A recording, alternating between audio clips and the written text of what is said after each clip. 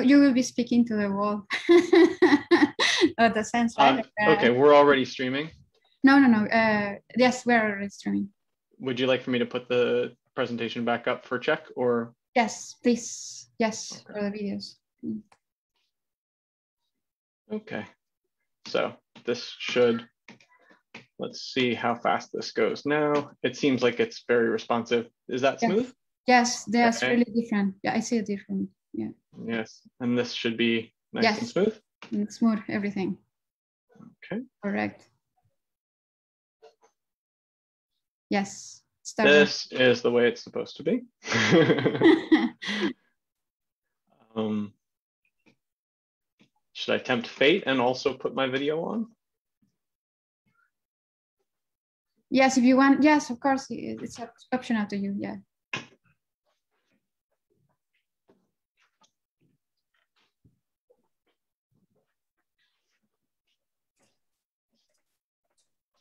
I don't have a cool sun in my background.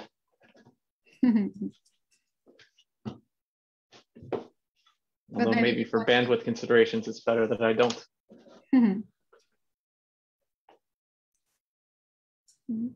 okay, so I'll stop sharing then, or I can go back to the title slide. To the title, yeah. So is there any uh, question that you would like me to ask, maybe to to try to pursue some um, well in case they, they are quiet or in case they is there any questions that you want me to pop up? Oh um i i don't know. Let me see. Uh you know all the questions i thought were super interesting i tried to at least work the answer in someplace.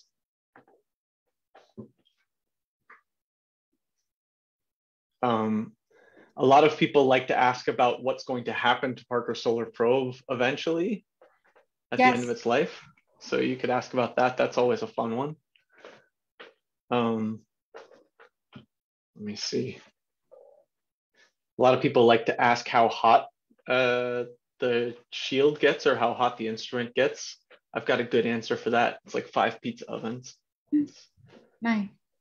Um, I, I, always uh, show them the video with the carbon piece and mm-hmm. use this uh, fire thing and you can put your hand on the other side. Oh yeah, I don't have that. I don't have that handy. That would be yeah. that would be good. That, that's very good. Um, that's it's good that you do. I used to have a great video of um, from back when they were doing testing in the Pyrenees when they had like you know the whole thing where they had the the big mirror death ray thing to heat it. Um, I used to have some cool stuff from that that I would show in these talks, but mm-hmm. you know you can't show everything every time.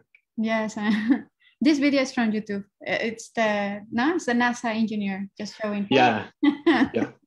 I love it. Okay. And I'm I'm not sharing anymore, right? I can no, share this you're not sharing. Okay. Um, I will be right back. I'm just gonna get a glass of water and then I'll be here. Yes. Okay. okay. That's good.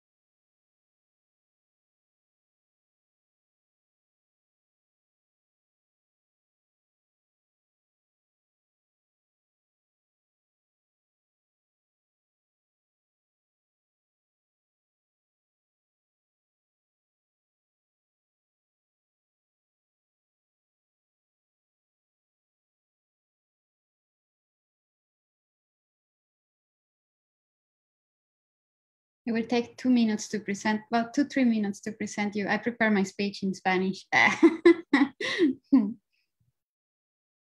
Just one more minute.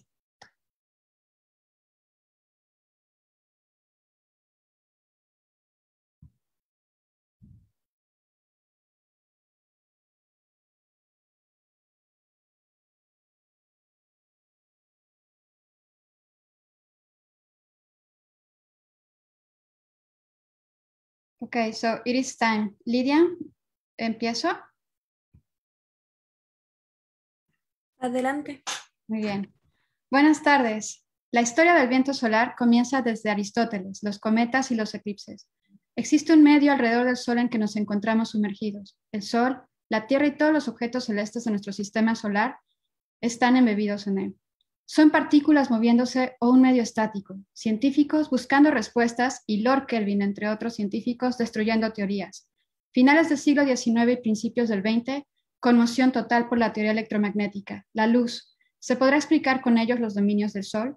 En 1958, Eugene Parker, astrofísico de la Universidad de Chicago, publicó una ecuación que le revela que el Sol emite constantemente un viento solar, un flujo de plasmas, partículas, con campos magnéticos, todo corrotando con nuestra estrella. Entre tantas ideas, dos que son polémicas. Una, el viento solar se acelera. Estamos sumergidos en un viento superalfénico.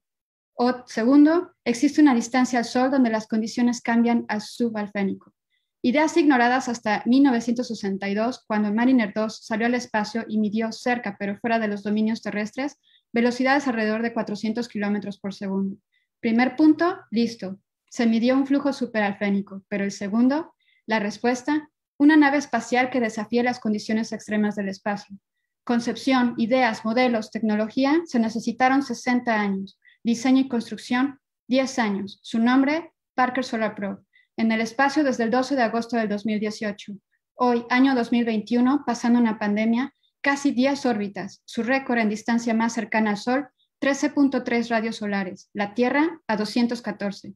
Su velocidad máxima, 531.670 kilómetros por hora. Unos años más e irá más rápido, estará más cerca, casi 8 radios solares.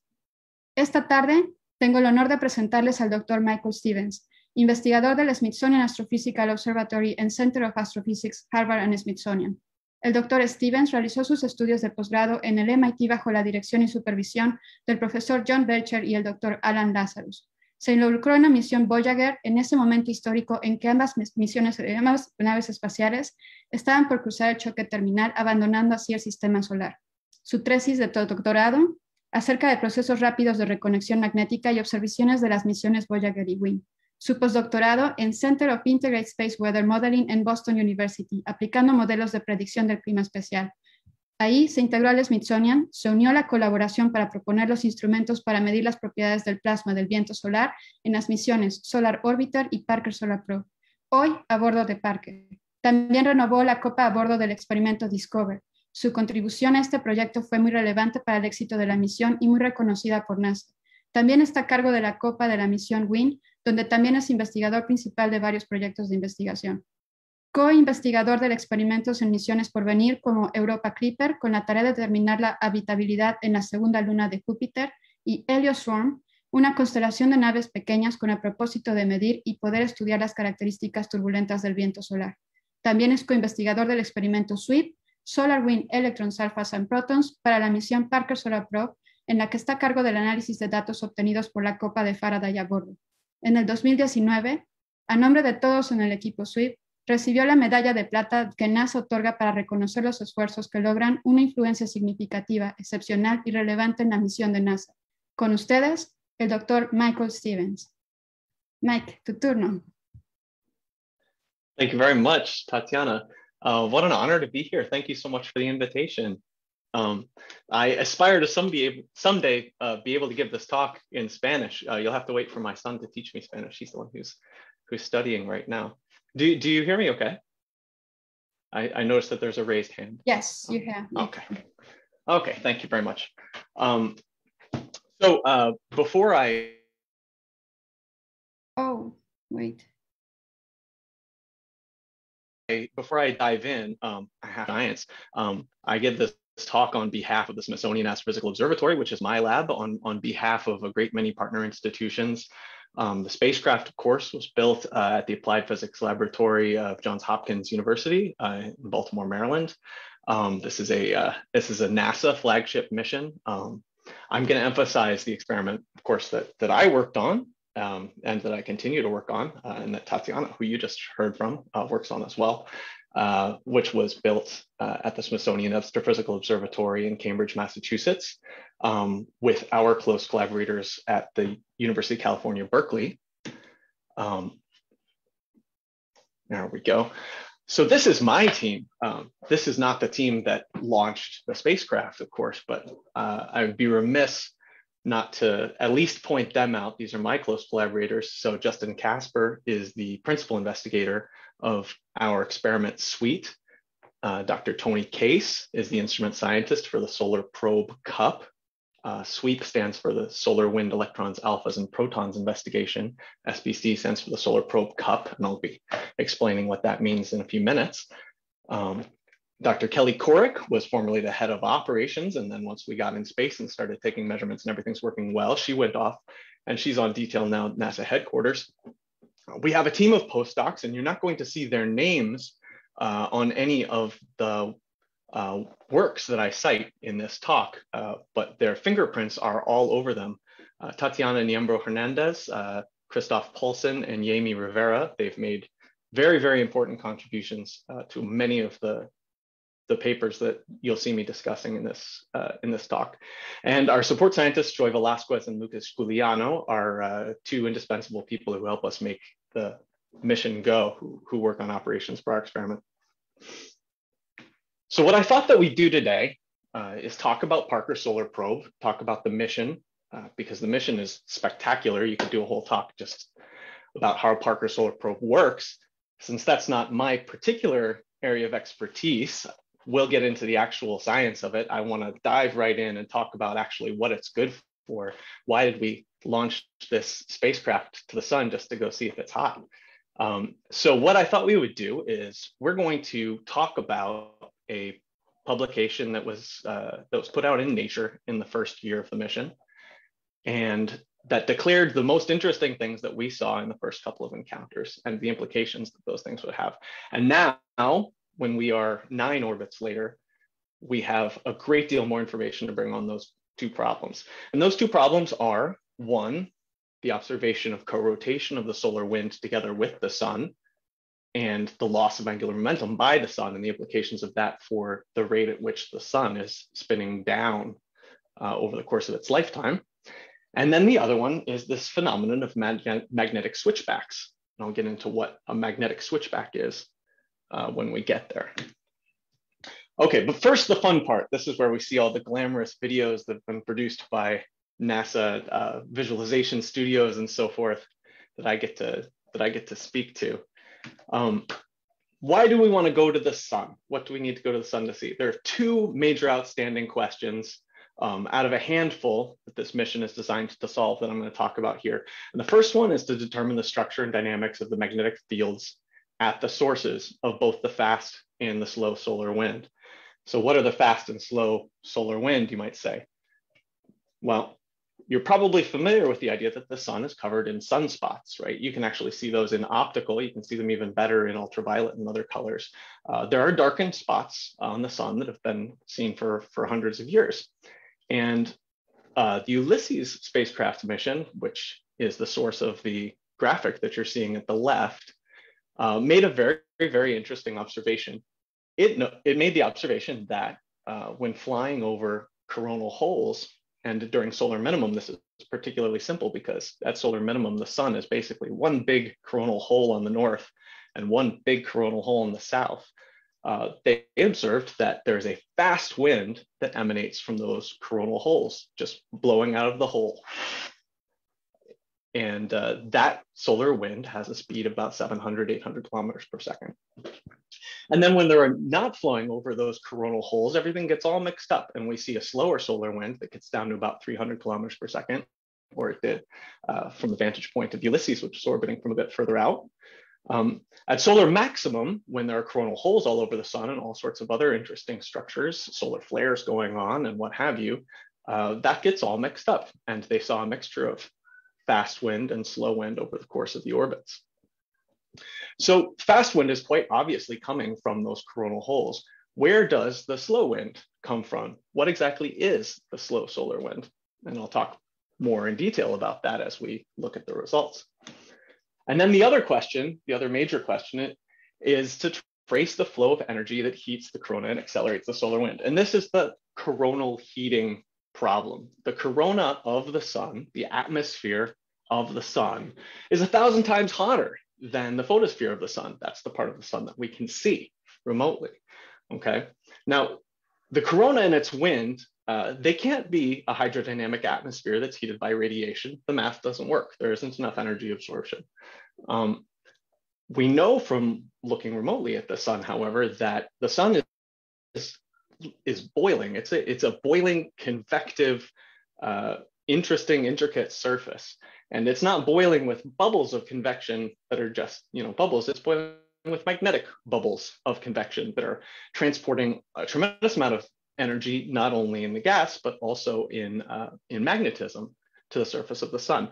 And what this question boils down to, pardon the pun, is how is that energy that's boiling up to the surface of the sun and stored in magnetic fields getting converted to the heat and the energy that powers the solar wind? Um, and in particular, there are two sort of schools of thought on this, and they don't need to be either or, they can both be correct at the same time. Um, one of which is that that constant churning at the base of the sun's atmosphere, where those magnetic fields are welling up, uh, causes all sorts of waves, and those waves mix in a great big turbulent stew. And then at some point, that energy gets resonantly absorbed into the plasmas. So that's the direct current. That's the DC class of theories. And then there are these AC class of theories, which is based on the following inference. Look, the sun has solar flares, the sun has ejecta, the sun is, is at least at solar maximum, always spitting out these massive energetic uh, eruptions. And when we catalog those eruptions, we see that there are more and more and more of them, the smaller we look for the eruptions, i.e. their scaling uh, is a power law, okay? It's a, it's a self-similar scaling and the larger the eruption, the rarer, but the smaller the eruption, uh, you find them in abundance.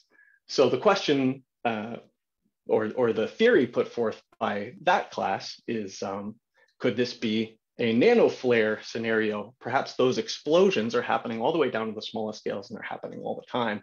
Perhaps that's even what the slow solar wind is, is it's the bursty patchy bit of the solar wind that's just being driven by those explosions on small scales. So these are the reasons why we need to go because we can't resolve these questions out uh, at 1 AU where we are out at the orbit of Earth. So to quantify what that actual destination is, it's, it's to go beyond the solar Alfvén point.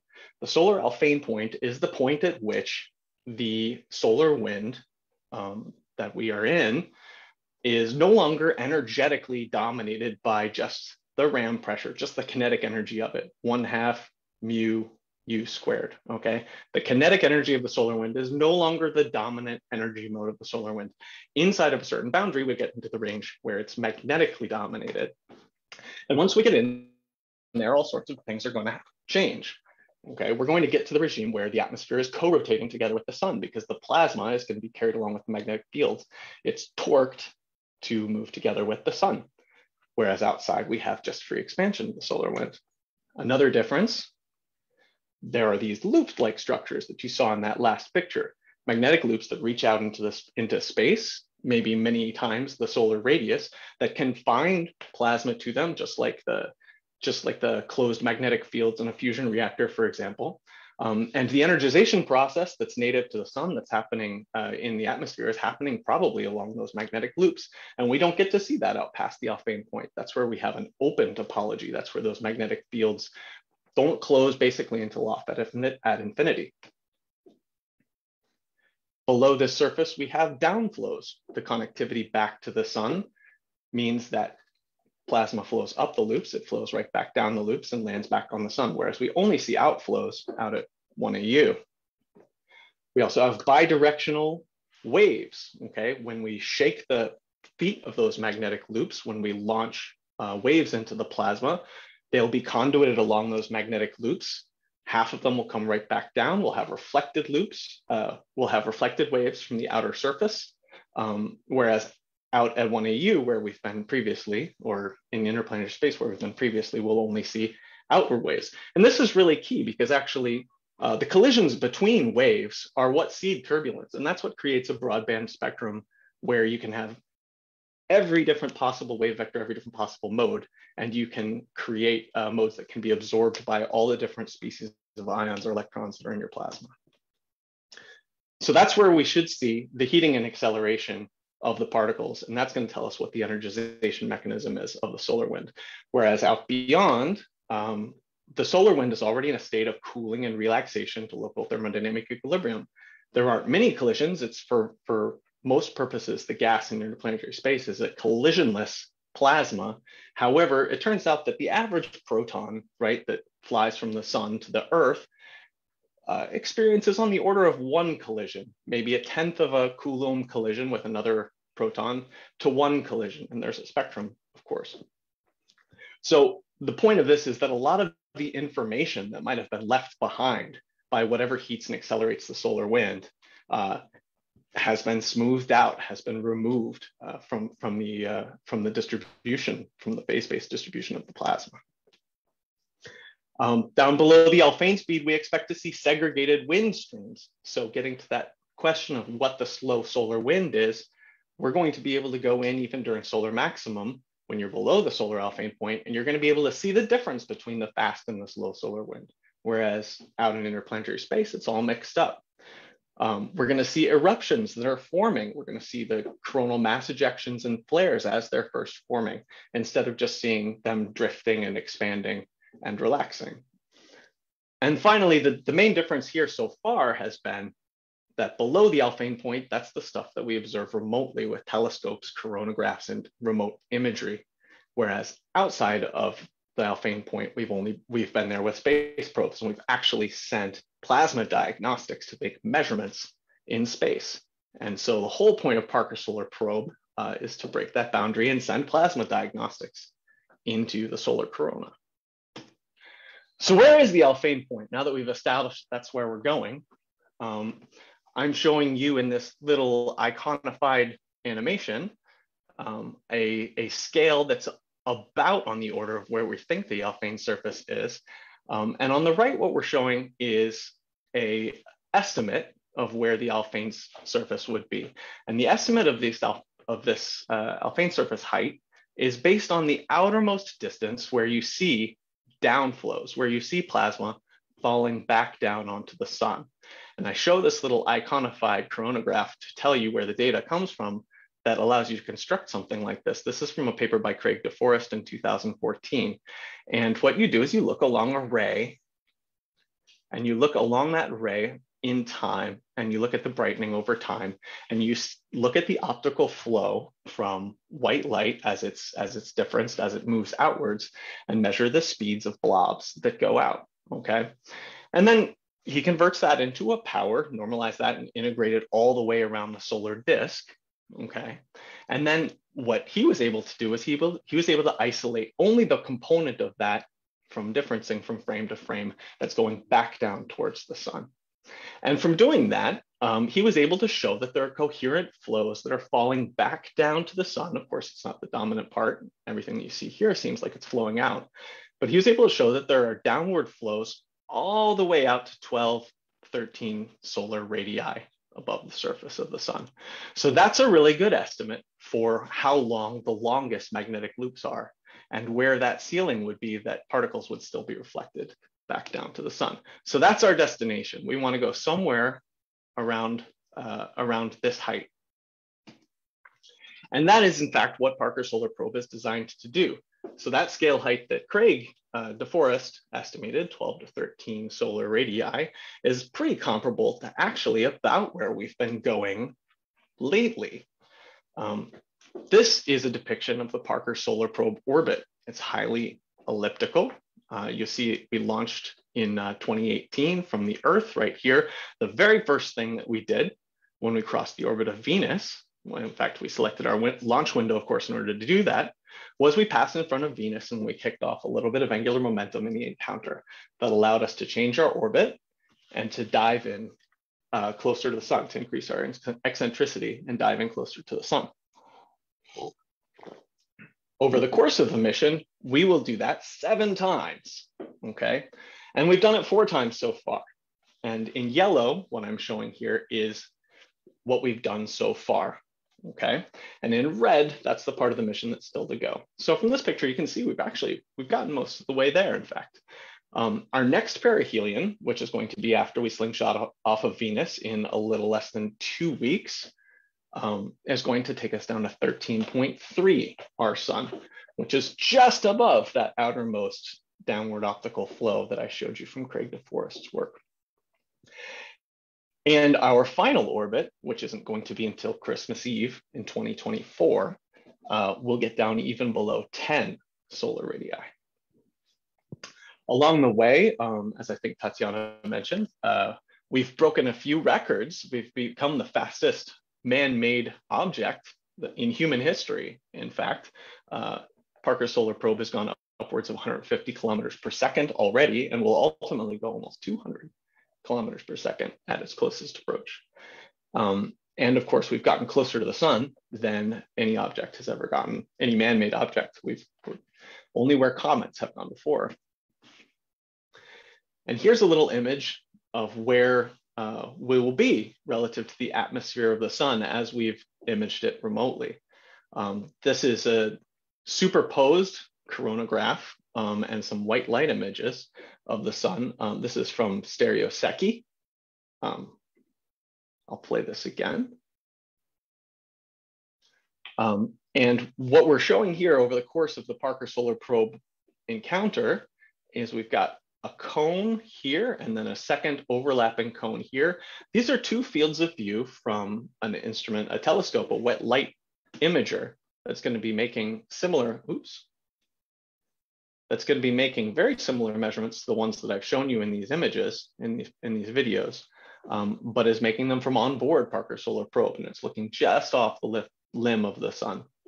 And the idea with that experiment, that experiment is called WHISPER, um, is that we will hopefully image uh, eruptions and streamers and structures coming off of the sun before we fly through them and then measure their properties uh, with our plasma diagnostics. So now here is where we are uh, in our most recent orbit. Our last orbit was orbit nine, and you're gonna see us take our dive to the sun to about 13.3 our sun. Um, you see Mercury coming around and if this video went just a little bit longer, you would see Venus starting to come up from down here and, uh, and make our next Venus assist.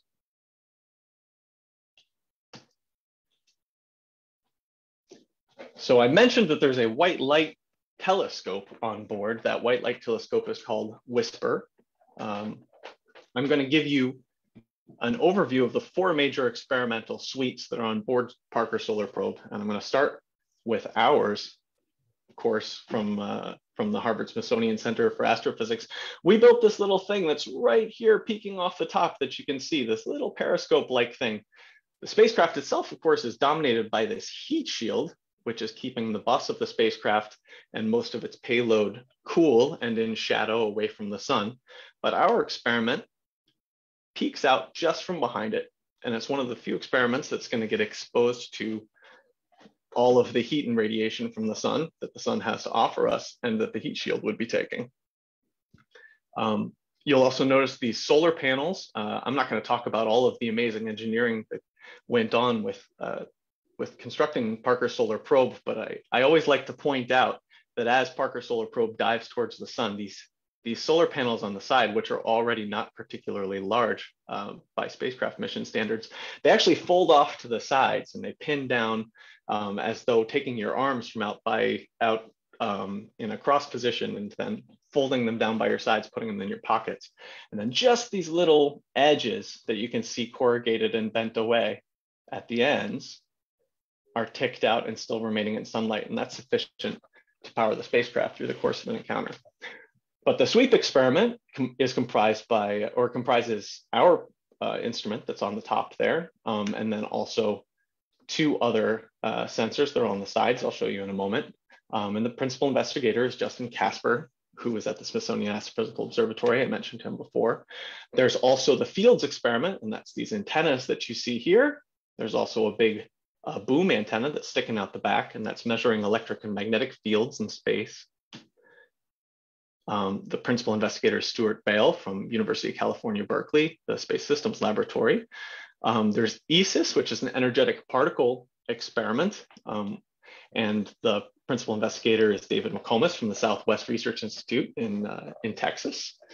And that suite uh, is full of a lot of very eager people for, um, for the solar cycle to get started because we launched in a solar minimum and the sun has been very quiet. There have not been many flares. There have not been many coronal mass ejections or, or giant interesting things. There haven't been uh, a lot of aurora borealis lately, as you probably, as you may be aware. Um, their experiment is measuring radiation. They're measuring fast uh, energetic particles in space. Uh, and they're going to be very interested when things kick up they haven't had much to look at so far.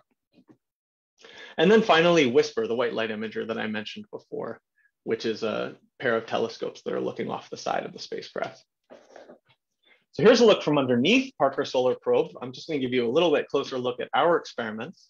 The Solar Probe cup, which we built, is right there and it's peeking out behind the heat shield. And what it measures is it measures the phase-space distributions of ions and electrons in the solar wind in this example. So here's protons, and here's another little bit of protons. They're out of equilibrium with the first protons.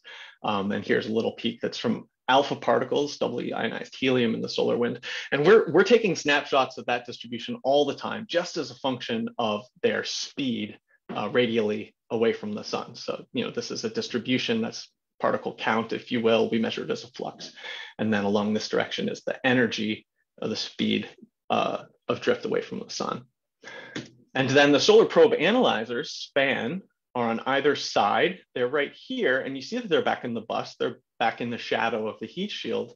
Um, and in fact, Parker Solar Probe moves so very fast uh, near perihelion in one of its encounters that the solar wind in the frame of reference of Parker Solar Probe is no longer coming straight at it from the sun. It's coming in sideways, just like rain on a windshield when you're driving fast. And that's what puts the flow of the solar wind into those sensors.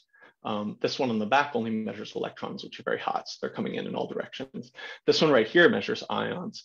And so it's measuring them coming in at a sideways direction. So when we're very, very close to the sun, it's able to make these exquisite measurements from the shadow of the heat shield. Uh, and it measures actually three-dimensional distributions of particles. And here's a little example of the sort of thing that you might see.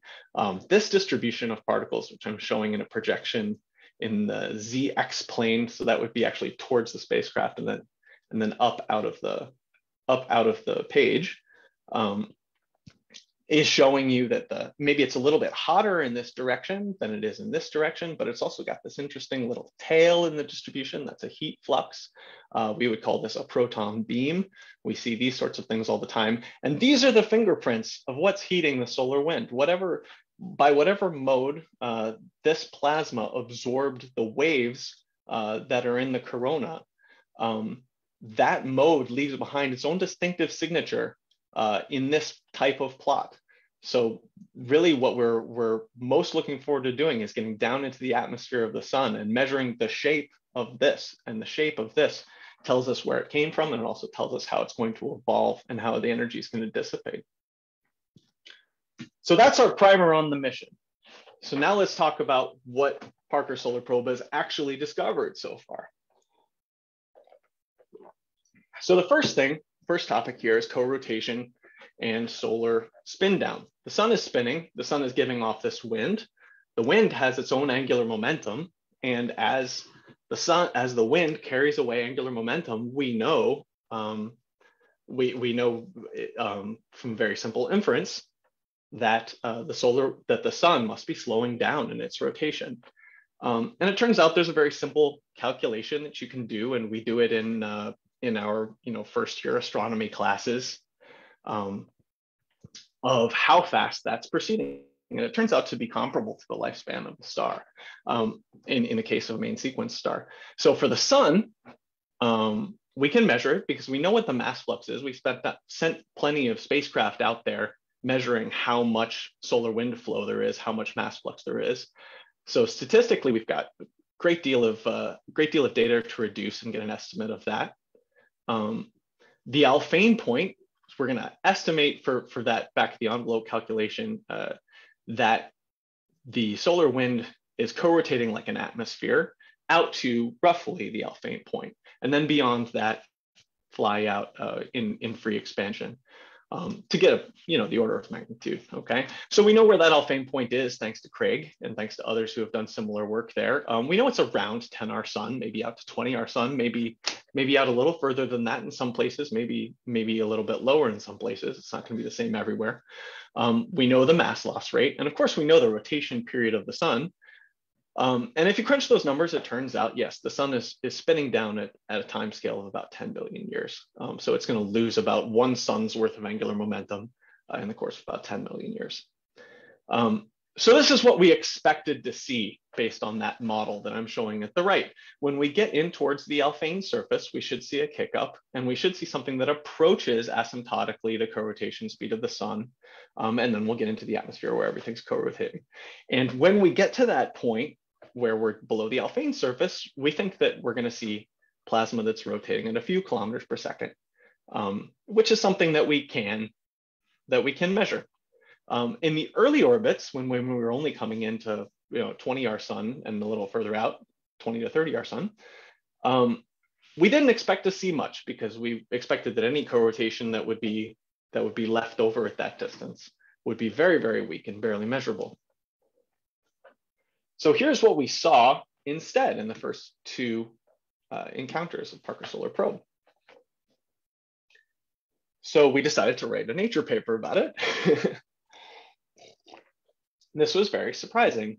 Um, instead of seeing something that was down near, you know, a kilometer per second, or maybe even barely something measurable, uh, we saw a systematic trend as we got closer to the sun where the co-rotating part of the solar wind speed went up to 30, 40 kilometers per second, 10 times more than what we would have expected to see. Um, you can see from the spread here, these are binned averages over the course of the orbit. And you can see from the spread that there's a lot of variation. Okay, so this wasn't a simple uh, monotonic trend. There was a lot of different stuff going on. But uh, in the aggregate, this is the way that the data trended as we came in. And it happened this way in both encounter one and in encounter two. So we had two separate orbits. You know, encounter one was our commissioning orbit. Um, and then encounter two, we were trying to get serious. Um, one thing to note is that these observations were made only by the Solar Probe Cup. That's our instrument that I mentioned, the one that's peeking out behind the heat shield, because we're not close in, in enough yet to, to get plasma into the side sensors. We're not moving sideways fast enough at perihelion to get the plasma into those other two instruments to corroborate this. Um, so we are very interested, taking the long view, um, in cross-calibrating between those instruments, the one that we had used and the one that we hadn't been able to use yet uh, in order to verify this. Um, the implications of this are pretty stark. Uh, this would imply that the Alfvén point, the solar Alfvén point, is not at, in at 10, 15 solar radii, but out at 30 or 40 solar radii. This would imply that even in encounters one and two of the mission, we had already almost achieved mission success. We had already almost crossed the Alfvén point. We were just knocking on the door. The other implication of this is that the sun would be actually spinning down 10 times faster than we thought and that the sun would lose a sun's worth of angular momentum in the course of only about 1 billion years. Excuse me. So this inspires a lot of questions. Was the Alfvén point actually much higher than expected, uh, even if just in that little spot? Um, and the answer to this one is no, we're, we're quite sure that it wasn't. Um, and we were able to measure this in a few different ways. We actually measure the speed of the solar winds directly. We measure the magnetic field um, of the solar wind directly. Uh, the Alfvén speed, the speed at which an Alfvén wave uh, travels through the plasma, that's the primary wave that, that governs um, magnetic magnetized plasma interactions, um, is calculable. It's very simple. Uh, and we can calculate it from those quantities. And we also, over the course of the orbit, we crossed the same solar wind streams several times, and we developed little scalings of it just to track and see uh, what the what the ratio was between the kinetic energy and the magnetic energy of the plasma to see if we were getting close to the point where that went to one. Um, and everything seemed to imply that we were on a curve that uh, would put that at unity between 10 and 20 our sun, like we would expect. And we've since uh, also skimmed the critical point. We've actually made measurements since this time where um, the magnetic energy and the kinetic energy in the plasma uh, were in rough equal partition, or the ratio between those two things was about one, i.e. where we've skimmed that Alfvén surface where we're, that we're trying to cross. Um, how representative were these observations? That was the other thing that we wanted to know. And this is where it gets interesting because the answer is not very. Um, in both of these two encounters, we visited basically the same geographic location on the sun. The, these orbits uh, had us cross perihelion really in very nearly the same spot. And on the right here, what I'm showing, um, these are magnetic maps of the sun. Um, there's a there's a model that's been applied to project that outwards a bit away from the sun, um, out to about where we'd expect uh, the solar Alfvén point to be. Up here on the top, this is where all the solar wind is coming from the northern coronal hole. This is where all the magnetic field is coming out of the North Pole. And then down below, this is where all the solar wind is coming out of the southern coronal hole and where all the uh, magnetic field is coming out of the South Pole. And then this, this sandwich in between is where they meet. And the red line is the neutral line between the two. And the little white line here is showing you the track of Parker's solar probe. And in the frame that's rotating with the sun, it turns out that we actually go prograde and then retrograde and prograde again because we actually fly when we get close a bit faster uh, than the co-rotation speed of the sun. So that's why we have these little loops, okay? And these little loops come up and they just kiss that neutral line. Now, we also know that as the solar wind expands, that neutral line is not flat, it's not simple. And you can see here that it even has these little kinks and waves on it. Um, here's a model of what that neutral line looks like modeled out into space. Uh, we call this the ballerina skirt a lot of the time in, uh, in space physics because it looks like a, you know, the skirt of a twirling ballerina. And Parker Solar Probe, it turns out both times was visiting this very particular wrinkle in the, in the ballerina skirt. Um, out at Earth, where we make continuous observations of space weather, we've seen variations, coherent variations that are on the order of those same flows, those 40 kilometer per second flows uh, near wrinkles in the current sheet like that. So that's not unusual. Um, so can all this be reconciled? And the sun actually isn't spinning down faster than we thought. And I think the answer to that is, is probably yes. Um, I'll note some other really good suggestions were made. Um, Victor Ravi et al. and uh, and Ying Lu et al. made two observations of things that we weren't measuring yet uh, at the at that time uh, in the mission. Um, they suggested that if the proton distributions were carrying big heat flux tails, like that beamy one that I showed you before, then that might be concealing some additional angular momentum that's not accounted for. Um, Ying Lu similarly said, actually, we might even have heavier ions. There, there are other ions besides protons in the solar wind. Uh, I showed you a plot that depicted helium ions. Um, there are also a very small trace amount of, of great many other elements, the solar elements. Um, and those, uh, according to Ying's model, uh, would be expected to carry opposite angular momentum and actually compensate a bit. And he showed that it could be about the right order of magnitude. And then Adam Finley uh, in 2020, he published this paper where he examined the wrinkle in the ballerina skirt particularly. Um, and then he also tried to derive some scaling relations from the observations that were taken away from the perihelion, further away from that wrinkle in the ballerina skirt. Um, and he showed pretty convincingly that uh, the sampling bias and the overestimate, the overemphasis on that particular region uh, really is what makes the difference. And then lastly, of course, we did, since, since one of the first orbit was a commissioning orbit, um, we did want to verify that the observations are correct. We're still in the course of calibrating and fine tuning and, and uh, things like this. But uh, we have some very good reason to believe that these data were, were quite precise. Um, and here's an illustration of why. Uh, we measured a great many uh, Alfvén waves. And so what is an Alfvén wave? Uh, I said before that Alfvén wave is the primary mode uh, in a magnetized plasma. Um, if you visualize the magnetic field uh, that's embedded in a, in a plasma as guitar strings, and then you imagine plucking them, um, an Alfvén wave is kind of like the motion of the guitar string, okay? So there's a tension force that's stored in the magnetic field, and that tension force uh, tries to restore and, and, and responds to the wave, and that moves the bulk of the plasma. Um, and so the magnetic field perturbation that you've uh, administered and the velocity field perturbation turn out to be, but for a scale factor, exactly the same. Um, and we see this in space all over the place in the Parker Solar Probe data uh, when we get close in.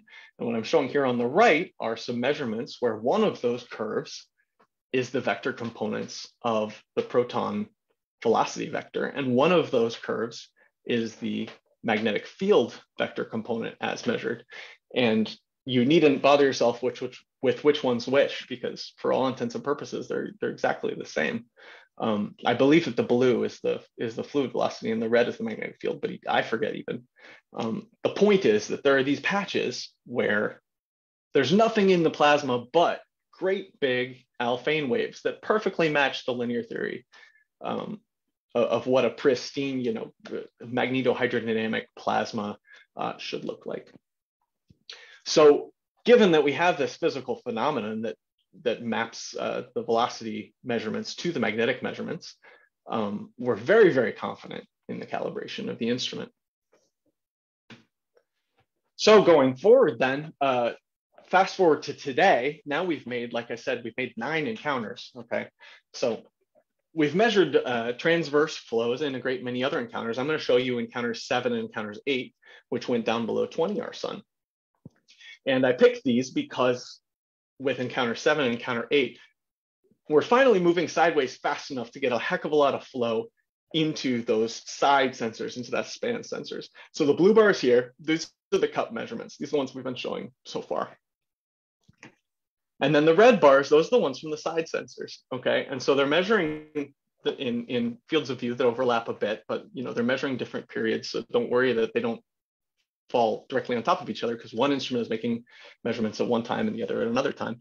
Um, but what you can see as we go in uh, is that there's a great deal of structure uh, going up and down with, the, with radius and that both sensors are corroborating that and, and showing that. And then the overlaid parts here, uh, these are the observations from the Nature paper, from the original results. And as you can see, the, the, the trend, that secular trend uh, from, from those points is really comparable to the type of stuff that we're seeing over the course of the entire encounter and going in even further. Um, there, there's, there's variation this way, there's variation that way. There's interactions going on in the solar wind that are kicking plasma side to side uh, in orders of tens of kilometers per second all over the place. And that secular variation that we saw, that we wrote about, um, it wasn't observed in these closer encounters. Um, so I think that the, the winner here is definitely uh, the Adam and Finley and all uh, result, which was showing that it was a sampling bias from a couple of very peculiar encounters that happened to go to a particularly special place. If we want to do this right, um, if we want to really measure solar spin down, we're going to need to do long integrations over many encounters because um, there's just too much structure, and we've we've seen this um, since to uh, to really make a strong inference based on a few encounters. So in the last part of the talk, now what I want to talk about is magnetic switchbacks. This was the other thing, and I, I was showing a plot that was actually hinting at this before when I was telling you about Alfvén waves. Um, Parker Solar Probe saw Alfvén waves all over the place. These are those same, um, these are those same panels as in the previous plot, okay? But what Parker Solar Probe saw were not just simple Alfvén waves, it saw dramatic Alfvén waves. It saw Alfvén waves that were getting up to perturbations that are on the order of the solar wind uh, itself. Um, and it saw that the inner heliosphere is full of them. So they look, it looks like the solar wind is full of jets. This is the radial component of the solar wind speed. And you see it go boom, boom, boom, boom, hundreds of kilometers per second. And these all have the characteristics of Alfvén waves, but not just, not just a pluck of a guitar string. This is like you actually twisted the guitar string around in an S shape before you let go of it. Okay.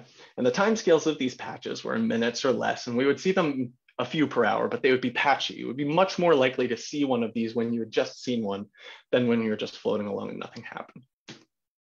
Okay, now this sort of thing in a much lower amplitude had been seen before um, out near the Earth at 1AU and other spacecraft missions. The thing that's new here is that now we were seeing them in the slow solar wind, okay?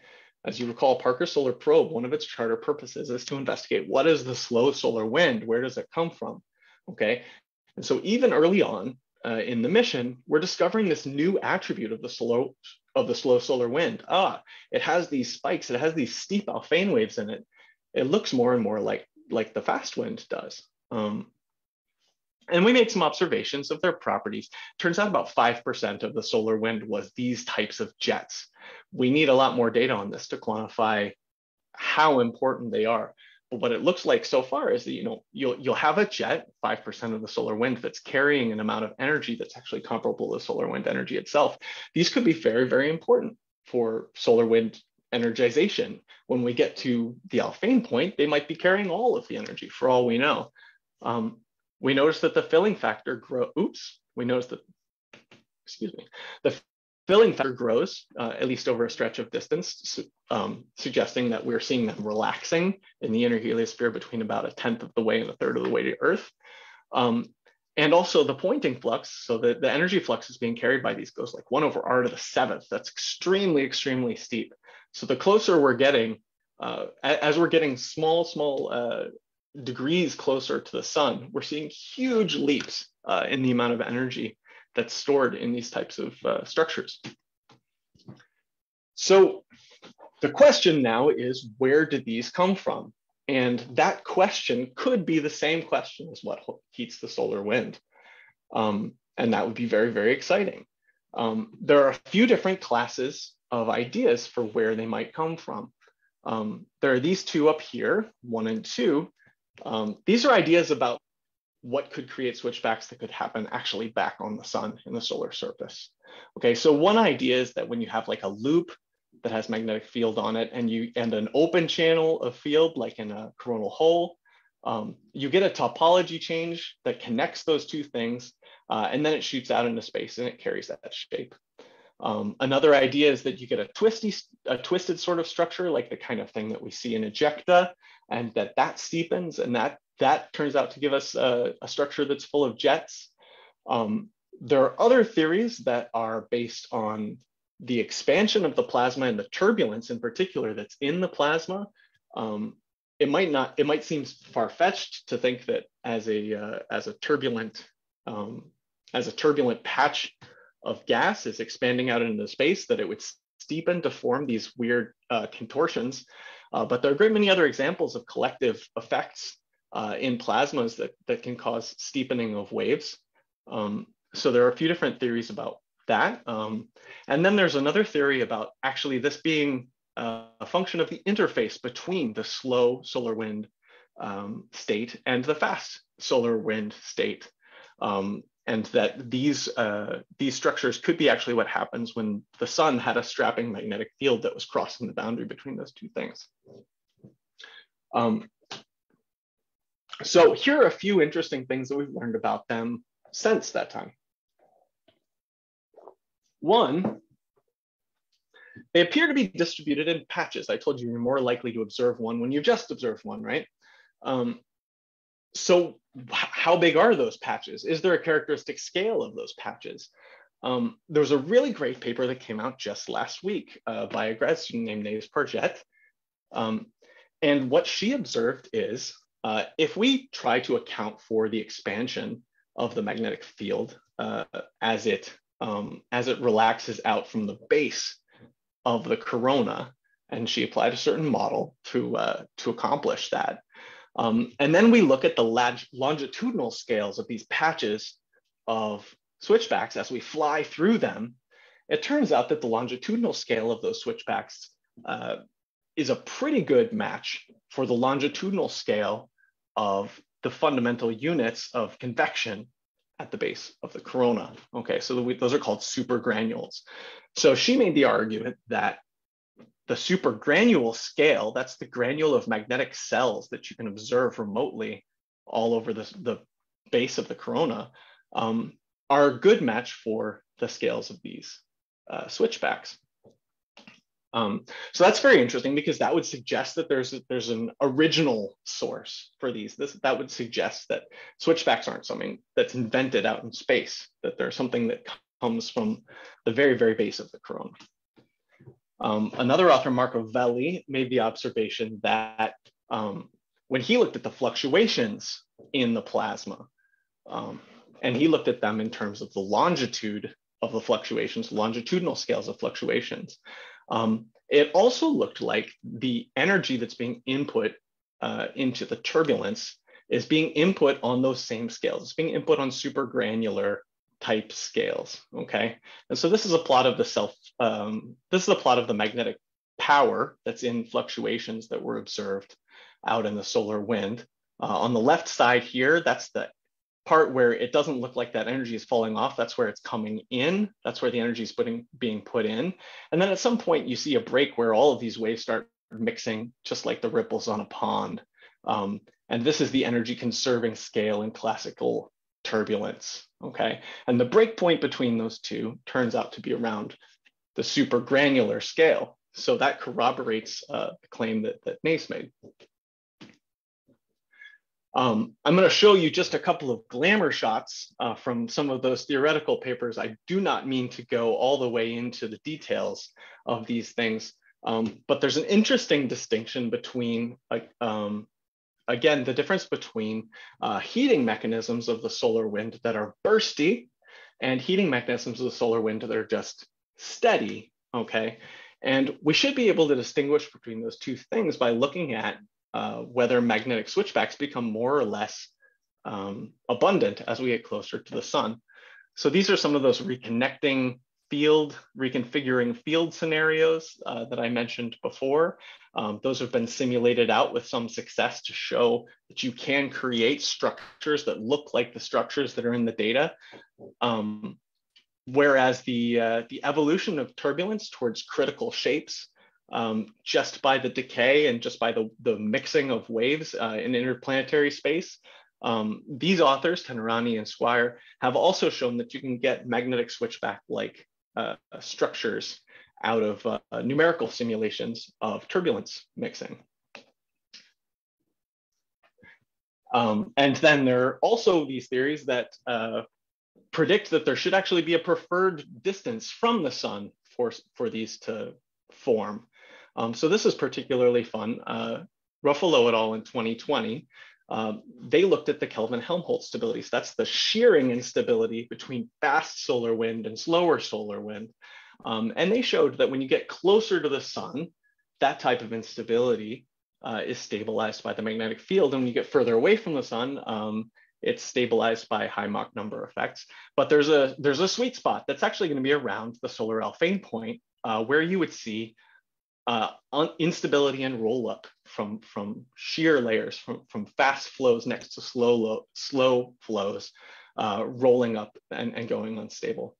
Um, so he actually predicted that we should see more and more switchbacks down to a point to the Alfvén point, and then below that, uh, the Alfvén point, the uh, switchback frequency should go down. Um, so these authors that I've that I've just very, very quickly glossed over have given us theoretical descriptions that would predict either that the switchback frequency is going to go up as we get closer to the sun, that it's going to go down as we get closer to the sun, or that it's going to, in this case, go up and then back down as we get closer to the sun. And each one of those pictures gives us a very different uh, notion of what the slow wind is, what the fast wind is, and what the energization mechanism is as it pertains to these switchbacks. So this is now, uh, that's the end of my talk. You've made it. Um, and uh, to summarize what we've learned from those uh, initial findings, um, one, with respect to rotational flows, we've learned that the sun probably is not spinning down 10 times faster than we thought for 100 years, and that's good. Um, we suspected as much, uh, but I think that we have a very clear picture now of, uh, of why we um, had that initial observation and how that observation fits into the bigger picture, uh, and also that we're still making good measurements, that it wasn't a measurement issue. Um, and it also looks like if we want to measure the spin down of the sun uh, over a long time, then that's going to take uh, a lot better statistics. Um, we've also learned from this magnetic switchback phenomenon that uh, the fast and the slow solar wind have something in common that we didn't know that they had. Um, and these switchbacks may carry a significant fraction of the energy of the corona and the solar wind. Um, we've seen that they are circumstantially linked to the solar supergranule scale, to the convection cell scale uh, at the base of the corona. Um, and we have a set of theoretical recipes uh, that have been demonstrated mostly with numerical models that's going to tell us how to interpret the data if we see those switchbacks become more or less abundant as we get closer to the sun. So going forward, where are we exactly? I told you that we're just about orbiting at where we thought the Alfvén point would be. Um, so Parker Solar Probe is going to cross the true Alfvén point very soon. And as I say that, I will also uh, remind you, well, I will also inform you that the, the data policy for the mission is such that uh, the most recent two encounters are presently under embargo. Uh, so when those are published, when those data are published uh, in about a month, uh, you may be hearing some more very interesting things along these lines. Um, whether the switchbacks frequent, whether switchback frequency goes down as we get in closer is going to tell us a lot, as I just told you. Um, and, uh, and as we go forward, we will be able to make better, measurement, better measurements of uh, the angular momentum loss of the sun.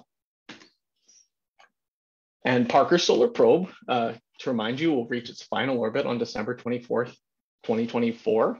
And there's a great deal more to look forward to. We're going to be flying through a very, very different sun uh, very soon because there's a new solar maximum that's on its way. And I'd love to take your questions. Thank you. Thank you so much, Mike. I actually have one question in our chat that says how many experiments you have to do before choosing the correct cup or the instruments to be sent outer space.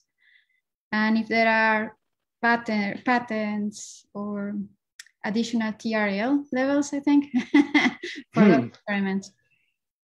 That is a complicated question. So I, I think, so would this be asking about how the experiments that went on board were selected?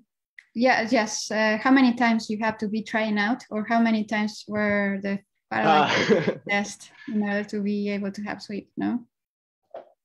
Well, um, let me see. I think that an experiment that's very much like uh, the experiments um, that, that comprise sweep uh, has been launched on several different other missions. So there's a there's a criteria called technology readiness level um, that's defined by NASA for what can go into space. And it's much, much easier to launch an instrument that's been launched before um, and meet that technolo technology readiness level uh, than it is to do something new. Okay. So uh, what I would say is that with Parker Solar Probe, um, Parker Solar Probe is a fantastically improbable mission. And the engineering that went into getting the spacecraft to the sun and not burning up, right? Keeping that heat shield pointed, keeping everything cool. That is the new thing on Solar Probe. The instruments that are on Solar Probe are mostly very boring. now they're they're new generations of old ideas. I I don't want to do them a disservice, but um, the instrument, our instrument, for example, um, so the cup, the Parker Solar Probe cup, it's very, very similar to an instrument that was on the Voyager spacecraft. It's very similar to the instrument that was on uh, the Pioneer spacecraft uh, that, that was on spacecraft go that it's an instrument that's been built at MIT going back to the 1960s. Um, so why did why did we get to build it? Well, we showed uh, how we would get that instrument to survive a great deal of heat and what modifications could be made. Um, and we did uh, quite a bit of testing at our lab and in a number of other interesting uh, exotic facilities uh, in order to do a proof of concept for why we could build one of those instruments that wouldn't that would still function at extreme temperatures. Um, and then when the mission was designed, uh, it was expected that it would have some sort of instrumentation on it that can measure uh, thermal plasmas in the solar wind. Um, and we were one of the teams that proposed one of those. And um, and the NASA oversight and the, the panelists who were who were charged with this deemed it the one that was the most probable to succeed. So we have a problem. I've been just announced that we just have to wrap up because we need to leave uh, the room for another talk. But ah, okay. this was really nice and interesting. I hope uh, you like it, everybody. And if you still have questions, remember, uh, please write to us, and of course we, we can answer them. Yeah, thank you so much. In name of uh, in name of the society, Mexic, uh, in name of the Sociedad Mexicana de Física, and in name of the division de plasma, the division de plasmas, I'm really thankful, Mike, for being here with us. Thank you so much. Gracias a todos los participantes. Eh, por favor, sigan disfrutando su estancia virtual en el Congreso Nacional de Física. Nos veremos pronto. Gracias. Thank you.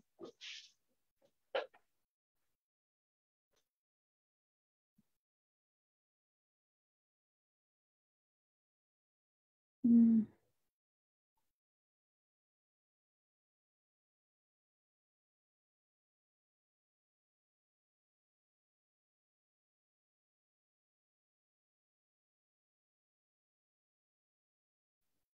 Hola, buenas noches, doctora Lorena. Sí, aquí ya estoy. Ok, doctora, usted, usted me indica cuando esté lista. Este, ya tengo aquí a las invitadas, a la doctora Lilia Mesa y a la doctora Alba. Eh, nada más que no puedo activar mi video. Me gustaría nada más verificar si ellas lo pueden hacer también para que podamos ya comenzar. No puedo. Le acabo de dar los, los, los accesos para que puedan este, activar su, su video y compartir. Ya, ya vi. Muchísimas gracias. bueno, la doctora Alba también aquí está con nosotros, con nosotras y nosotros. Ok, pues entonces. No, puedo verme antes porque es que tenía yo un fondo que no sé si ya lo cambié o no. ¿No se puede? No. Este, sí, podrías. Ah, no, pero olvidamos, olvídalo, olvídalo, olvídalo. Ya luego veo qué Ok. Entonces, pues sí, si gustan de una vez. Hola, hola Alba. Hola, ¿cómo están? Quiero verificar que se escucha bien. Profe sí. un placer. Sí, un placer también, Alba. Placer. Un gusto vernos. Que sea que la tecnología nos una, ya que no nos une la biología. pues bienvenidas y bienvenidos todos a, a este conversatorio. Si gustas, entonces empezamos, Jesús. ¿Tú nos indicas? Sí, doctora, adelante. Ok. Bueno, pues muchísimas gracias por, por encontrarse aquí con, con nosotras. Estamos en el conversatorio entre mujeres en física sobre alianzas latinoamericanas. Es un gran honor. Bueno, yo soy Lorena Romero Salazar, soy parte de, de, de, la Sociedad Mexicana de Física, investigadora en la Facultad de Ciencias de la Universidad Autónoma del Estado de México. Y en esta ocasión, pues soy la, la moderadora para que este, nos compartan la doctora Lilia Mesa y la doctora Alba Ávila sobre sus experiencias en estas alianzas eh, latinoamericanas. Me voy a permitir leer una breve reseña de ambas antes de cederle la palabra a la doctora Lilia Mesa, este, quien nos estará eh, compartiendo algunas palabras y después la doctora Alba. Ok, entonces eh, la doctora Lilia Mesa Montes es investigadora del Instituto de Física Luis Rivera Terrazas de la Benemérita Universidad Autónoma de Puebla. Realizó estudios de licenciatura, maestría y doctorado en física en la misma universidad, en la UAP, y una estancia postdoctoral en la Universidad de Ohio. Sus áreas de interés son propiedades mecánicas, electrónicas de sistemas de baja dimensionalidad, particularmente espintrónica. en materiales bidimensionales. Ha ocupado diversos cargos universitarios y en sociedades científicas. Pertenece al Sistema Nacional de Investigadores Nivel 1 y a la Academia Mexicana de Ciencias. Eh, el año pasado, en 2020, recibió el premio municipal Natalia Cerdán por su trayectoria académica y el trabajo desarrollado en promover y apoyar la igualdad de género. Ha sido coordinadora de la red CONACYT de Ciencia, Tecnología y Género. Actualmente es coordinadora en el grupo de trabajo Mujeres en la Física de la UBAP, de la Unión Internacional de Física Pura y Aplicada. Y realiza, ahorita nos está hablando desde el otro lado de la frontera, está haciendo una estancia sabática en la Universidad de Ohio, en Estados Unidos. Ok, entonces te doy la palabra, por favor, Lilia, y mejor después presento a Alba para que vayamos así. Gracias. Eh, pues muchas gracias por la presentación, eh, Lore, y muchas gracias a la sociedad por abrir este espacio y por invitarnos a compartir, como ya he dicho eh, Lorena, estas experiencias que hemos tenido en los últimos años. Eh, ya voy a compartir mi pantalla, déjenme pasar al modo. ok, entonces la he llamado Alianzas entre Físicas y de otras disciplinas latinoamericanas y bueno, y en realidad también no solamente voy a hablar de América Latina. Eh, ya Lore ha comentado sobre em, eh, el grupo de trabajo de UPAP. Aquí pueden ver que estoy con varias camisetas, BOAP, la Sociedad Mexicana de Física, por supuesto, UPAP y la Red de Ciencia, Tecnología y Género. Y probablemente no sepan lo que sea UPAP, eh, la Unión Internacional de Física Pura y Aplicada. Yo no lo sabía hasta que recibí un correo de la sociedad invitándome a participar en un congreso de físicas en la UNESCO en París. Eh, por supuesto que uno ve esto y pues, pues, dice, sí, claro, con mucho gusto. Pues intrigada porque, porque un congreso de físicas y bueno, lo estaba lo de la UNESCO en París. Eh, pero yo les recomendaría que antes de que digan que sí, pregunten y después qué va a pasar, porque pues pensándolo bien, yo creo que incluso los organizadores no tenían idea de lo que iba a pasar y yo pues tampoco y entonces, pero, pero di el sí y empezó toda una, eh, pues que será toda una serie de actividades de las cuales les voy a comentar ahora este, en este momento. Entonces empezamos con un poquito de historia, pues les presento a UPAP, eh, es la Unión Internacional se creó en 1922, México, tengo entendido, entre los países que, fundadores de esta unión, y actualmente tiene más de 60 sociedades científicas, la mayoría de física, algunas son academias, y en 1999 crea un grupo de trabajo con varios objetivos. En primer lugar, hacer una encuesta de la situación de las mujeres, porque ya se había percibido, se había notado que había un bajo número y entonces eh, pues aparte de querer saber cuál era su situación, pues tratar de que hubiera, se incorporaran más mujeres a nuestra disciplina. Y tendría que presentar un reporte a todos los enlaces de UPAP con sus sociedades. Después tendría que sugerir acciones para mejorar la situación de las mujeres y sobre todo también incorporar a más en la estructura de UPAP misma, que estaba poblada mayoritariamente, abrumadoramente por hombres y organizar un congreso eh, mundial, que es el Congreso Internacional de Women in Physics, por sus siglas en inglés, aquí está, eh, que todos lo conocemos como el IQUIP, eh, y que además, pues, este grupo de trabajo tiene su página también en UPAP y que los invitamos a conocerla también para tener más información. Entonces, la motivación fundamental, como ya comenté, es, pues había un número bajo de mujeres, había ya detectadas situaciones de inequidad, bajos salarios, las mujeres ocupaban categorías bajas en algunos estudios realizados en encuestas y también llamaba mucho la atención que se presentaban diferencias regionales. Por ejemplo, países desarrollados que se esperaba tuvieran una mayor proporción de mujeres pues tenían una baja proporción comparadas con eh, otros países. Por ejemplo, aquí vean la población de América Latina comparada con América del Norte en número de estudiantes de licenciatura. Eh, y luego acá, eh, para estudiantes graduados, también es mayor el número de mujeres que en América Latina en proporción. que en, en, el norte y ya en posiciones profesionales, pues allí sí casi se emparejan. Entonces, pues tratando de ver, ahora vean qué países tienen más, mayor proporción, pues los países de Europa Latina. Entonces, pues tratando de entender estas eh, diferencias, pues se organiza, se propone que se realice este congreso y es al que asistimos. Bueno, la verdad es que ya llevamos siete. Es muy placentero ver que esta iniciativa ha continuado y estos congresos eh, son muy interesantes, muy ilustrativos, muy enriquecedores, permiten tejer redes y constan, por ejemplo, de estas actividades. Es una serie de conferencias plenarias, mujeres que nos hablan de su eh, trabajo de investigación, con una gran trayectoria académica.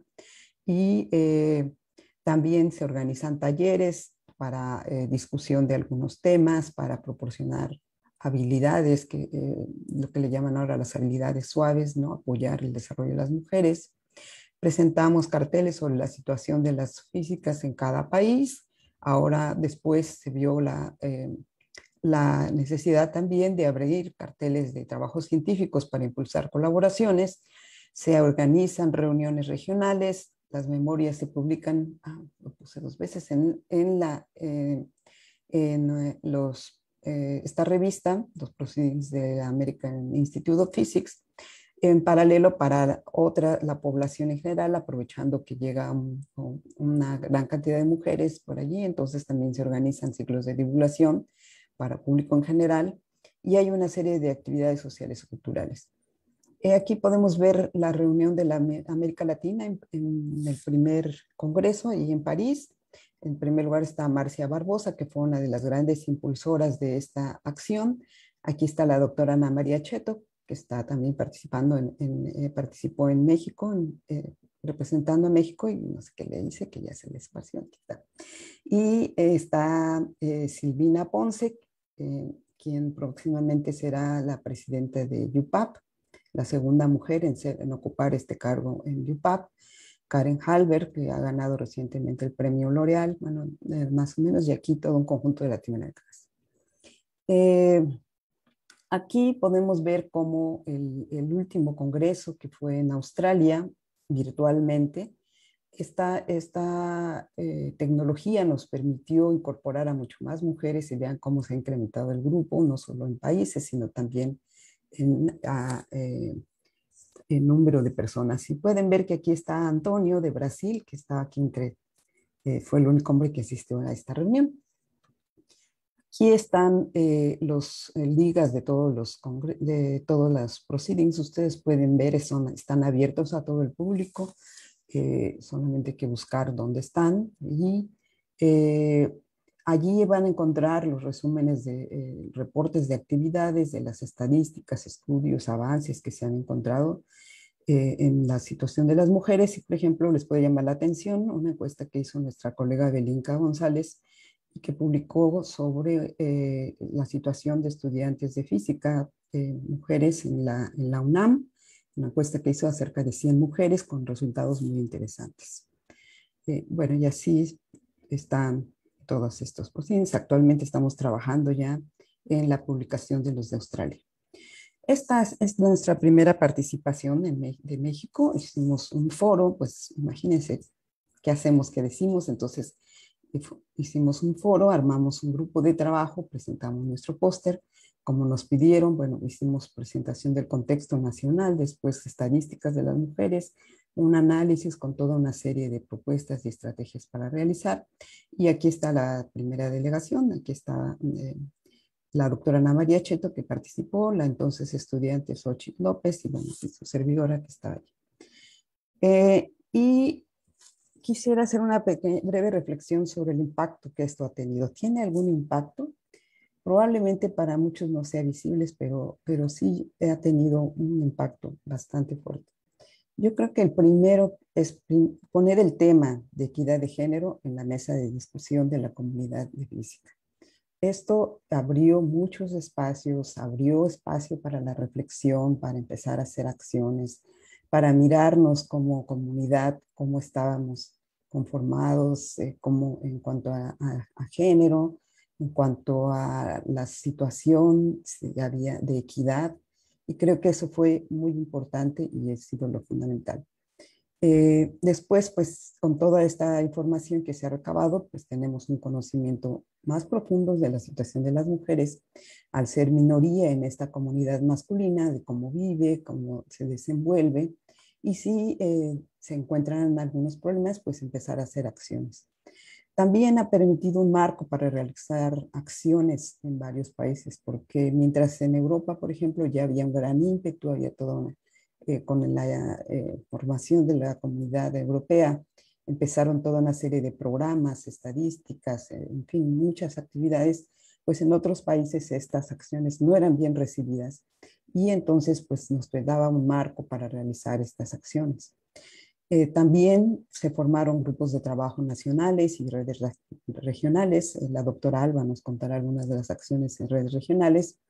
También eh, hay, ya se han impulsado, se ha ido avanzando y se han estado implementando medidas para evitar acosos en los congresos, que ha sido una queja, bueno, no solo en física, me consta en muchos lados, pero aquí ya eh, en sus congresos, en los congresos que apoya, ya tiene toda una eh, un protocolo de cómo actuar cuando se presentan estas situaciones.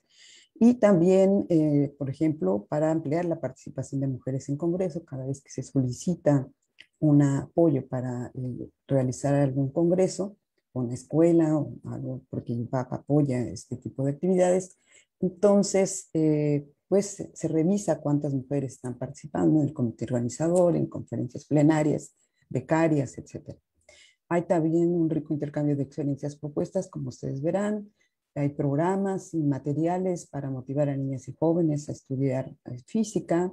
El premio L'Oreal, que antes se daba para mujeres, eh, sobre todo en las áreas de biología, eh, ahora ya se ha extendido para ciencias exactas y también ya hay una puesto, una eh, de, que lo llaman Gender Champion, no sé, observadora de género, yo lo traduciría, eh, que revisa cuáles son las políticas de UPAP eh, en cuanto a la equidad de género y también nos hizo no solamente formar redes entre las físicas, sino también ya establecer relación con ciencias sociales y humanidades para un estudio eh, más con base científica y, no solamente empírico del análisis de la situación.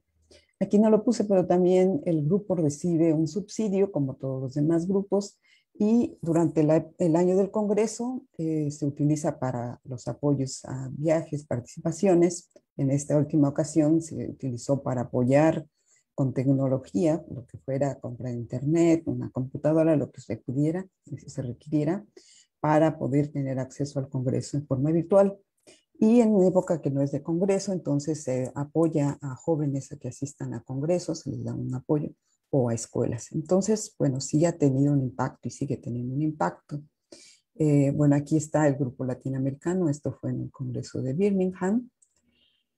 Y simplemente eh, ah, también comentar lo que ha ocurrido aquí en México. Yo les comentaba ya que había una serie de, talleres, sin embargo ya habíamos notado que estos eh, pues a veces eran no muy acordes con nuestra realidad latinoamericana y entonces decidimos con un grupo de colegas pues impulsarlo a nivel latinoamericano. Eh, lo hicimos por primera vez eh, aquí en México, afortunadamente con la orientación de la doctora Julia Tagüeña, quien nos eh, orientó hacia qué posible fondo podríamos eh, acceder, someter una convocatoria, perdón, someter una solicitud a la convocatoria en aquel entonces de jóvenes talentos y entonces pues fue aprobada nuestra eh, petición y ah, el plan era hacerlo una vez y después hacerlo en varios países latinoamericanos, pero tanto las participantes como las conferencistas, invitadas, todos dijeron, pues, ¿por qué no lo hacemos cada año? Y vean, ya llevamos varios años. El año pasado también nos fue aprobado nuevamente el programa, pero lamentablemente por la pandemia y debido a las características del seminario, pues eh, decidimos posponerlo porque pues, este realmente es muy importante que sea de manera presencial. Y lo sustituimos con una serie de actividades. Eh, por ejemplo, estuvo participando el director de PRO desde aquel momento, la directora de posgrado, también tuvimos una charla con ellas y, bueno, un reencuentro de otras participantes. Entonces, eh, han pasado por aquí en este, en este seminario en México como 250 participantes y pues nos seguimos animando a hacerlo porque la verdad la evaluación es muy favorable. Eh, bueno, ya eh, Alba nos contará de los que se hacen a nivel latinoamericano, pero digamos aquí comenzamos. Eh, después iniciamos un proyecto con, en conjunto. habíamos visto que los, anteriormente las encuestas no eh, pues no teníamos acceso a los resultados, entonces, eh, sobre todo, pues también Silvina, apoyada por el grupo, eh, impulsaba un proyecto a lo que entonces era El Consejo de Ciencias, y que después ya que se une a Ciencias Sociales pasó a ser el Consejo Internacional de Ciencias, y entonces ellos tienen un fondo para proyectos multidisciplinarios y se sometió el proyecto que se tiene aquí mostrado, una aproximación global a la brecha de género en matemáticas y ciencias sociales, cómo medirlo, cómo reducirlo. Eh, aquí están, en la, ustedes pueden ver todas las instituciones, las organizaciones participantes, además de YUPA, pues está la Unión de Matemáticas, la de Astronomía, Biología, matemáticas aplicadas, eh, computación, química, eh, respaldado por UNESCO, historia de la ciencia y el sitio GenderSite también. Bueno, tenía, tiene tres tareas este, este proyecto. Es la encuesta global, la que se hacía para física, ahora extenderla a las demás, las demás disciplinas, las demás eh, áreas que estaban participando las eh, matemáticas venían realizando un estudio conjunto de patrones de publicación si había para detectar si había tendencias de género. Entonces ellos estaban haciendo estizando y que eh, podrían enriquecer a todo mundo si se compartían. Además, se organizaron reuniones regionales en América Latina, la hicimos en Colombia, y eh, de este salió un libro y después también tenemos un repositorio de buenas prácticas, pero la mayoría son experiencias latinoamericanas. El sitio eh, de la el proyecto está aquí, está abierto y allí pueden ustedes ver todas las actividades que estuvieron eh, realizándose bajo este proyecto. El proyecto se cerró finalmente en Trieste, en Italia, Allí tuvimos una reunión final, nos, reunimos por disciplina, aquí está el grupo de físicas y físicos que participamos, y aquí estamos eh, con una botella de vino celebrando el nombramiento de Silvina como presidenta designada de UPAP. Aquí están dos matemáticas, las demás somos físicas de Perú, de Colombia, y eh, bueno, está Silvina. Eh, del libro les puedo comentar, este es el libro que salió eh, como resultado de la reunión regional. A mí me encanta la portada, los triángulos, eh, la, la, plantita esta que va desarrollándose y cómo se van uniendo, ¿no? que realmente representa todo esto que hemos estado haciendo y que se llamó así la brecha de género en matemáticas, computación y ciencias naturales. El libro consta de una presentación, una prólogo y una descripción de lo que contiene, su origen.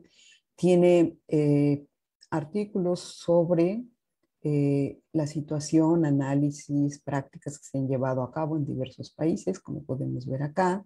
También viene prácticas en instituciones como la Universidad de los Andes en Colombia, acciones por disciplinas, matemáticas, física en Perú, computación, astronomía, física, en la, experiencia de la América Latina, en acciones multidisciplinarias como el caso de México, de la Red Mexicana de Ciencia, Tecnología y Género y los talleres de los que hablará Alba y los testimonios como, eh, de cómo estas actividades han impactado en nuestra vida profesional como, bueno, y nuestra vida en general y una galería fotográfica. Aquí están los países participantes, ustedes pueden ver que hay un número muy grande de países y de participantes. Eh, los, los, testimonios fueron anónimos y sobre todo de Argentina y México. Eh, algunas em, anécdotas, pues, que son interesantes es eh, que fue un poco difícil trabajar con el español latinoamericano. Realmente hablamos el español, pero eh, los regionalismos allí a veces complicaron un poquito la situación. A nuestra correctora de estilo se le descompuso la computadora, entonces, pero nos dijo que estaba disfrutando mucho leer este, todas las contribuciones las revisoras fueron de ciencias también, hubo de ciencias sociales y humanidades, que eh, también nos pusieron mucho énfasis en el lenguaje, el uso del lenguaje incluyente. El ISBN, que fue todo un, reto porque teníamos muchas actoras, autoras. Alguien se ofendió porque le pedimos que enfocara su, eh, su trabajo más en el contexto de lo que era el libro eh, le pedimos que por favor lo modificara, entonces se ofendió y se los comento porque realmente esas actitudes no son muy buenas, no son colaborativas. Eh, creo que no, no, no, es la manera adecuada y por eso se los comparto. Obviamente mi, cuarta, mi cuenta de correo se me llenó y bueno, allá a mí en particular me encantan mucho los testimonios. Aquí un ejemplo de la galería fotográfica, las actividades que hacen en Perú con niñas, aquí reuniones de las matemáticas, por ejemplo, y yo quisiera aprovechar para agradecer mucho a la Sociedad Mexicana de Física por su invitación de manera personal, pero también por todo este apoyo que nos dio, porque el libro fue coditado con la sociedad. Entonces, en aquel entonces, el presidente Darío Núñez, que así fue muy, muy entusiasta para apoyarnos durante su eh, gestión y que eh, nos acompañó a uno de los congresos y también al contador Alfonso, que fue muy paciente y nos entendió todos los problemas que teníamos en todo este manejo del dinero. A la Universidad de los Andes, que fue la sede de, la reunión latinoamericana, pues, y a todas las autoras y las revisoras que participaron. Aquí está la foto de nuestra reunión, eh, como pueden ver. Bueno, de a nivel global hay un reporte final, un libro. O sea, yo les acabo de hablar de lo que pasa en, en, América Latina, pero a nivel global hubo un libro que está aquí, eh, la contraportada y la portada que está aquí, lleva el título del, del proyecto. Se puede bajar de forma gratuita en esta liga que ustedes pueden ver acá. También la liga la pueden encontrar más fácilmente en la página del proyecto. Y también se puede comprar a nivel pues, yo digo prácticamente un mundial, el impreso cuesta 14 dólares, el envío es gratis y eh, entonces pueden ustedes allí eh, ordenarlo, pedirlo y tenerlo impreso si es lo que quieren, pero también está eh, electrónico. Este libro también el contenido es una descripción del proyecto, una parte del prefacio tiene una descripción del proyecto, cómo se desarrolló, la metodología, qué resultados se encontraron, cuáles fueron las herramientas que al final se tienen, cuáles son las, las reuniones, un conjunto de, de, más o menos como 20 recomendaciones que están a, distintas, a distintos grupos para instructores, profesores, madres y padres, para organizaciones eh, locales y para organizaciones científicas en general, para poder apoyar y eh, eh, invitar a más niñas y mujeres a desarrollarse en la ciencia. Eh, las tareas que se reporte sobre las tareas realizadas y finalmente se cierra con un reporte final y las perspectivas de, este proyecto. Ah, por ejemplo, la encuesta, encuesta contó con 33.346 respuestas de 159 países, eh, la mitad fueron hombres, la mitad mujeres aproximadamente. De nuestro país hubo 1.400 respuestas y eh, esta fue conducida por el American Institute of Physics, que tiene un departamento de estadísticas. Entonces es un análisis muy riguroso. Ustedes podrán ver la metodología, toda una metodología para poder, ah, eh, poder definir cuáles son las respuestas, en algún momento nos contaron, ¿no? Cómo iban descartando algunas que no eran, no daban mucho, no eran muy confiables, en fin.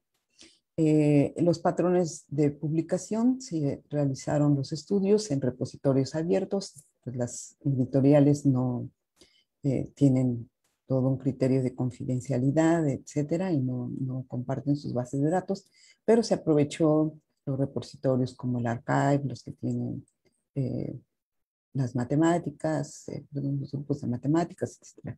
Y se hizo un análisis de las tendencias de género, aparte de todo un estudio de cómo va, va la tendencia de publicaciones. Por ejemplo, hay una tendencia a publicar menos en matemáticas, es interesante eso. Luego, las iniciativas, pues se generó una plataforma para capturar las distintas actividades y generar esta base de datos de diferentes tipos de actividades. También hay un capítulo sobre el impacto regional de los, eh, del proyecto en las distintas regiones, África, Asia y América Latina, donde eh, se llevaron a cabo las reuniones regionales. ¿Qué tiene, por ejemplo, este libro? Tiene muchísimas gráficas, tiene muchas conclusiones de ellas. Yo solo les voy a compartir aquí algunas. Entonces, por ejemplo, las mujeres eh, externan que sus experiencias en la educación y en el empleo son menos positivas en general. Aproximadamente el 25% de las que respondieron reporta haber sufrido acoso sexual en la escuela y el trabajo. O sea, que esto es un fenómeno eh, que trasciende eh, y que también tienen 14 veces más probabilidad que los hombres de reportar haber sido acosadas y esto, fíjense, es independiente de la disciplina, la edad, el sector de empleo, la región geográfica y nivel de empleo. O sea, este es un serio problema cultural que tenemos que abordar definitivamente. También hay comparaciones entre las regiones y entre las disciplinas. Por ejemplo, se encuentra que en países más desarrollados ah, se reportan más experiencias negativas que dependen del nivel, sobre todo en el posgrado, en la relación con los asesores, en el acoso personal. Hay muy e, evidencias eh, de eh, diferencias claras. Por ejemplo, interrumpen menos su carrera en Europa Occidental. Estos son fenómenos sociales interesantes para analizar también. Y pues la pregunta es, bueno, estos son lo que, lo que reflejan las 33 mil tantas respuestas. ¿Qué tan significativos son los resultados? Eh, bueno, es difícil obtener conclusiones contundentes, primero porque eh, la forma en que se hizo la estadística, que es la metodología de bola de nieve, que se corre la voz, pues ah, puede ser no muy representativa. Segundo, también son respuestas de percepción. O sea, tú sientes que has sido acosada, tú sientes que entonces, bueno, pero bueno, como decimos, ¿no? Cuando el río suena, es que agua lleva, entonces hay esa percepción que incomoda, que realmente se convierte en un obstáculo para un desarrollo pleno de todo nuestro potencial. Y es necesario fundamentarla con mucho más investigación eh, y sobre todo también hacerlas, tomar las acciones correspondientes. Este es un ejemplo de las, de las gráficas, por ejemplo. Aquí son de física. Eh, en 33.150 respondieron, 55.5 mujeres. Ustedes pueden ver que el, aquí en física 27% eh, más en proporción eh, reportan las mujeres acoso que los hombres. Este es, es, el impacto que tienen los hijos, entonces si tiene impacto, 30% de las mujeres, bueno, en el desarrollo de su carrera, eh, las mujeres en un 20% contestan afirmativamente, mientras que los hombres contestan menos, como del orden de 10%. O sea, sí hay diferencias y esto es, bueno, pues es fundamental. ¿Qué estamos haciendo actualmente? Bueno, estamos preparándonos. En dos semanas tenemos la Asamblea General de UPAP. Tenemos que llevar los resolutivos de nuestra eh, nuestro grupo estamos proponiendo una declaración de principios sobre equidad en el desarrollo de nuestra actividad científica. Se presenta el informe de, eh, Gender Champion que analiza todas las acciones que se han llevado desde un punto de vista de género. Estamos trabajando en la renovación del grupo de trabajo y de las eh, líderes de los grupos nacionales. También estamos enfocadas a mayor difusión de nuestras acciones eh, ahora queremos, hay una propuesta ya de extenderlo no solo a equidad de género, sino a equidad en la diversidad que implique no solamente estas posibles eh, inequidades por género, sino también pueden ser étnicas, eh, también pueden ser, bueno, todas las que se pueden abordar. Y a nivel regional estamos trabajando en un grupo derivado de precisamente la reunión que es eh, en Colombia, que se llama Huitral. Estamos construyendo una página que les invitamos, ya está por lanzarse, que además de ser divulgación, pues abordará todo este tipo de temas con esta perspectiva. Eh, yo agradezco mucho su atención y cedo ahora la palabra a, eh, a Lorena. Gracias. Muchísimas gracias, Lilia. Es un enorme gusto escuchar todo, todo lo que nos, has planteado. Ya tenemos una pregunta por ahí en, este, en el chat, pero si me permiten, voy a, presentar a Alba este, y vamos a redondear todas las preguntas al final para que eh, tengamos suficiente tiempo. Entonces, eh, pues déjenme presentarles a la doctora Alba.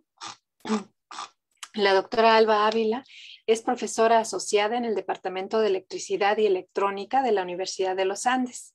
Ella tiene un doctorado en física de la Universidad de Cambridge en los Estados Unidos, una maestría en ingeniería eléctrica y una licenciatura en ciencias en física e ingeniería eléctrica de la Universidad de los Andes.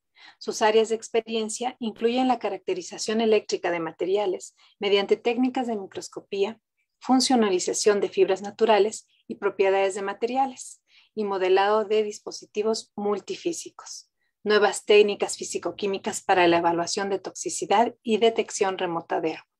También trabaja en el diseño y desarrollo de kits para promover la educación en nanotecnología y participa regularmente en actividades de divulgación con comunidades marginadas para la detección de metales pesados en agua. Pues sin más preámbulo, adelante, doctora Alba, la escuchamos. Bueno, voy a compartir aquí la pantalla. Entonces, primero, pues agradecer a, todo el evento organizadores y a la Sociedad Física por invitarme eh, a estar acá con la profesora Lilia.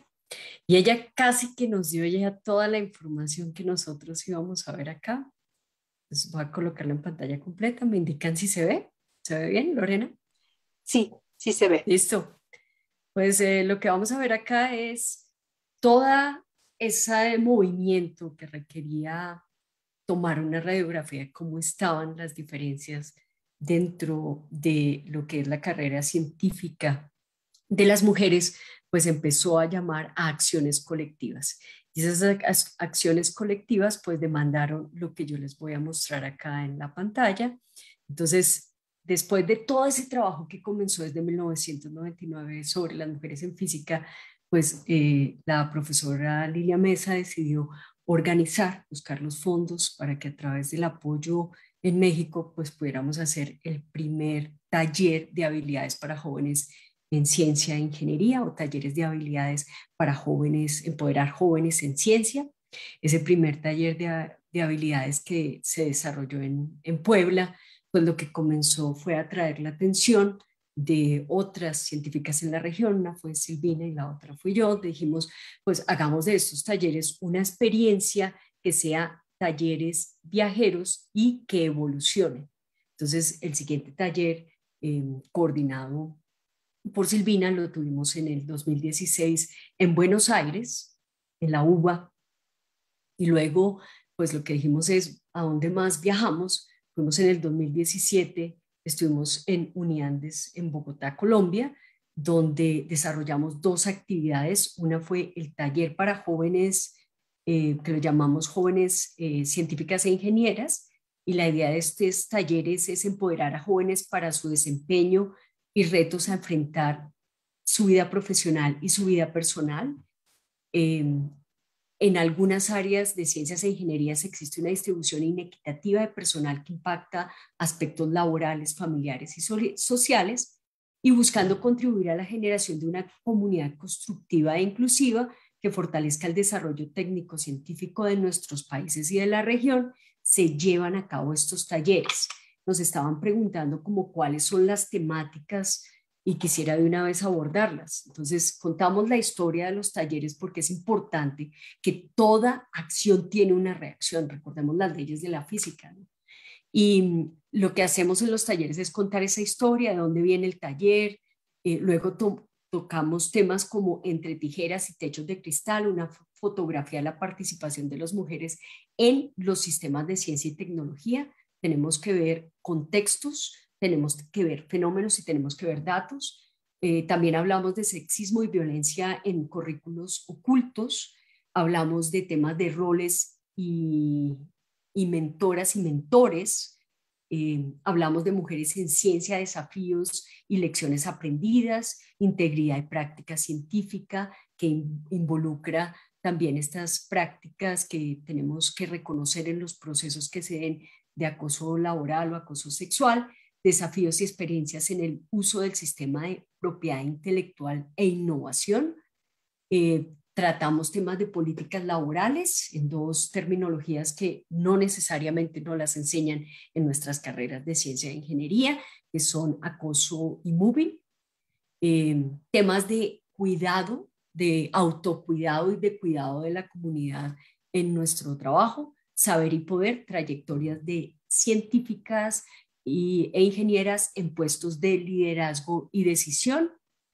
Eh, también hablamos de las redes, las asociaciones y las plataformas profesionales, cómo apoyan a los movimientos colectivos que se dan en la región, tanto estudiantiles como profesionales, no solamente para la participación que se da en eventos en la región, sino para la formación profesional esa formación profesional establece qué es, que es una mm, tarjeta profesional, cuáles son los deberes, las responsabilidades eh, que nosotros tenemos en nuestras diferentes carreras y cómo es esas dinámicas de trabajo entre todas, entre todos y entre todes, eh, donde se respete eh, todo tipo de diversidad que tengamos en nuestros grupos de trabajo.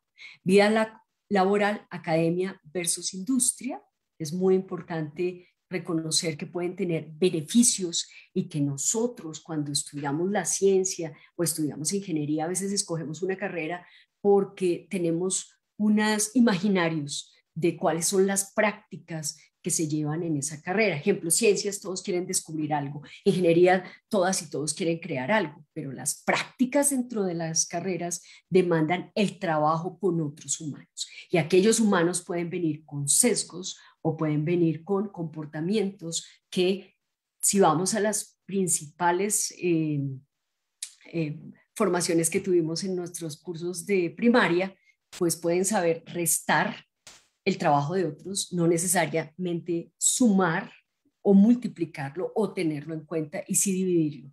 Entonces es muy importante que nosotros veamos esa vida laboral que implica fuera de esos imaginarios de lo que es trabajar en una carrera, porque estamos entre humanos y aquellos humanos pues traen una carga de lo que es su vida, eh, tanto profesional como laboral, cuando se encuentran con nosotros.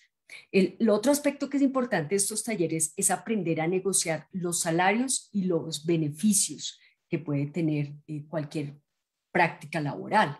Eh, cuando trabajamos como asistentes eh, de investigación, asistentes en un proyecto o cuando nosotros ya pues trabajamos en una empresa o dentro de la academia. Entonces es muy importante saber reconocer un reglamento, saber reconocer los procesos por los cuales, si no nos encontramos en un ambiente que es cómodo, pues podamos establecer cadenas de alarma o cadenas de seguimiento de acción. Em, también hacemos un cierre de estrategias para nuevos encuentros y siempre aplicamos una encuesta. Esa es como una de las formas que nosotros hemos ido organizando esos talleres. Las llevaba en el 2017.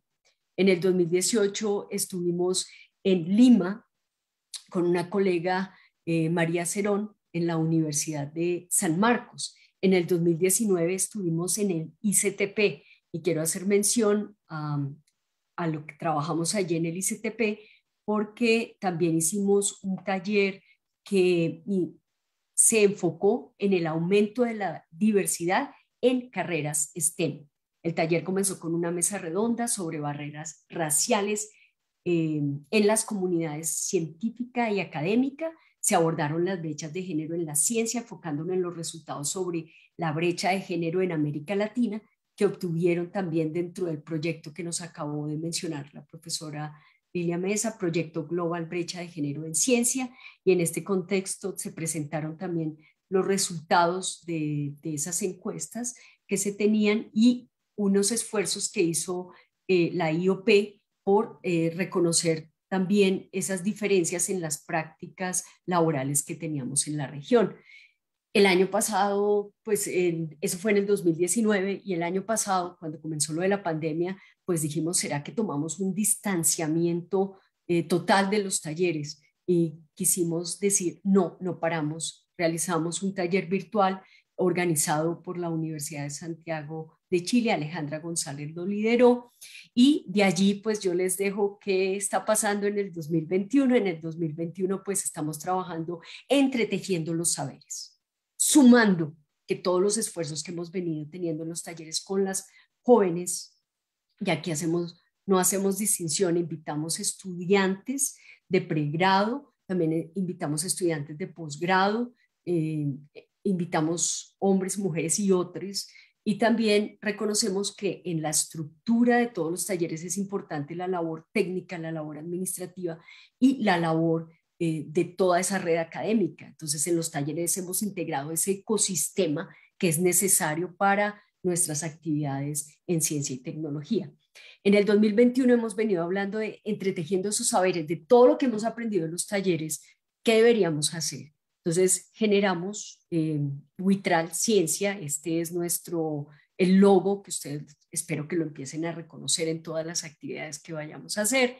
Y pues aquí les coloco XYZ, porque quisiera que las personas que nos están escuchando ojalá se animen a que trabajemos en otros talleres. ¿Dónde? Donde ustedes nos digan. Porque lo que hemos definido dentro de este grupo y la red de trabajo que tenemos es que esta es la ciencia viajera. Vamos donde es pertinente.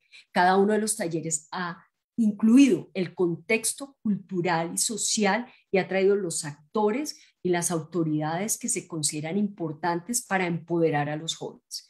¿Por qué? como nos lo decía la profesora Lilia Mesa y lo hemos visto en la región. En la Semana de la Ciencia hablamos de múltiples esfuerzos que se hacen porque queremos más mujeres en la ciencia, pero bajo qué condiciones. Queremos que estén en las mismas condiciones diferenciales, donde no se incluyen a todos y todos eh, los que están aportando. No, estos esfuerzos que estamos haciendo y que los llamamos acciones colectivas, pues tiene que promover un liderazgo en tiempos de incertidumbre. Y esa es la invitación que quiero hacerle a todas y todos y todos los que nos escuchan. ¿Dónde queremos más talleres? ¿Dónde necesitamos empoderar a toda esa masa crítica que nosotros estamos formando en la región con el fin de tener unas condiciones laborales que ellos puedan decidir sobre ellas, no caer eh, ilusoriamente sobre unas carreras que es necesario que se conozca cómo van a trabajar y cómo van a navegar su vida profesional y su vida personal.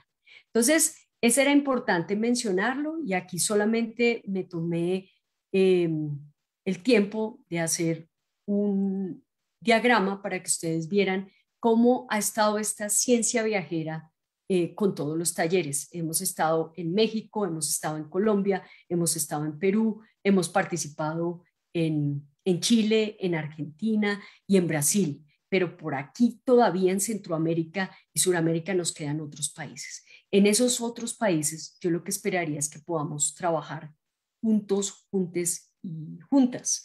Entonces, eh, el otro tema que quiero mostrarles, que la profesora Lilia también lo hizo en su presentación, disculpe, lo voy a hacer, es, hemos aprendido a comunicar la ciencia para los jóvenes.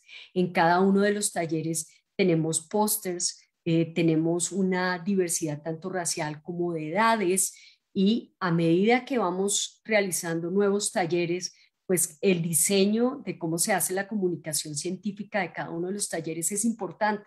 Si ustedes consideran que son buenas o buenos gráficamente y quieren apoyar en estos talleres, son bienvenidos. en cada uno de los talleres, pues dejamos eh, tanto un reporte en el cual se levanta información de encuestas, datos de quienes participaron y también pues todo el reporte eh, fotográfico de, cada uno de estos talleres. Este es el último que hicimos, esos conversatorios de Gender Gap en América Latina 2020, donde eh, pues trajimos eh, representantes de la región y voy a seguir navegando acá. Ustedes van a ver diferentes tipos de, diferentes tipos de fotografías y también de esta comunicación científica, donde en algunos pues tenemos en cuenta la formación que se da desde STEM y seguramente ustedes están viendo la evolución de las humanas y humanos que han participado en los diversos talleres, porque eh, en la medida en la cual nosotros vamos viajando, pues nos vamos transformando, como lo dicen las leyes de la física. Entonces, esto es lo que hemos venido haciendo y se los quería mostrar de una forma gráfica. La última que quiero mostrar acá es, es necesario, como trabajamos nosotros en física eh, y trabajamos con electrones, fonones y fotones, conocer cuánto aporta cada una de las unidades que lleva energía, los entes de energía. Así pasa con los humanos, pero también son importantes estas acciones colectivas dentro de las cuales hoy les dejamos Buitral Ciencia, Vamos a ponerles el, enlace de la página y en Witral Ciencia van a encontrar una página con unos colores muy llamativos, pero también quisiera invitarlos a que la puedan visitar. Van a encontrar información de los eventos que se están realizando en la región, blogs que van a escribir cada una de las líderes que está participando eh, que tan neutral es el conocimiento científico, el anillo de las matemáticas y el género, mujeres en ciencia y tecnología, diálogos de ciencia y política y sociedad. Van a ver la serie de webinars que se han venido organizando en los diversos países, conmemoración del Día Internacional de las Mujeres en Matemáticas, la brecha de género en ciencias, cómo medirla, cómo reducirla. Eh, algunos pues en diversos idiomas también para que una comisión de género y diversidad en Humalca reflexiones que se vienen haciendo desde el androcentrismo, un límite para las ciencias y si pudiéramos viajar, viajes en el tiempo. Podemos unirnos en estos tiempos de incertidumbre y compartir allí información que ustedes consideren relevante, porque hoy la pregunta, y que con esta voy a cerrar, pensábamos que el género era una propiedad invisible de todas las prácticas científicas e ingenieriles o prácticas eh, dentro de nuestros entornos, laborales. Hoy creemos, después de todos los esfuerzos que yo les estoy presentando, que ha sido una propiedad tanto intrínseca como extrínseca en diversos países de la región. Y la idea es cómo la transformamos para que sea tenida en cuenta dentro de las métricas que tienen eh, todos los reportes de ciencia y tecnología y para que ustedes no la invisibilicen, sino a través de los datos, eh, colocándola visible en estos esfuerzos, podamos tomar decisiones y aprendamos de las prácticas que han mostrado los libros eh, que también nos han dejado estos esfuerzos. Entonces quería mostrarles una imagen eh, colectiva, digamos que hiciera la radiografía completa de lo que se ha logrado. Eh, también hoy hablamos de, de, de, Buitral y hablamos de dos libros. Entonces quisiera invitarlos, invitarles a que los puedan leer, se consiguen en línea eh, la idea es dejarlos, como lo mostró la profesora Lilia, la brecha de género en matemática, computación y ciencias naturales y eh, el libro de Gender Gap in Science.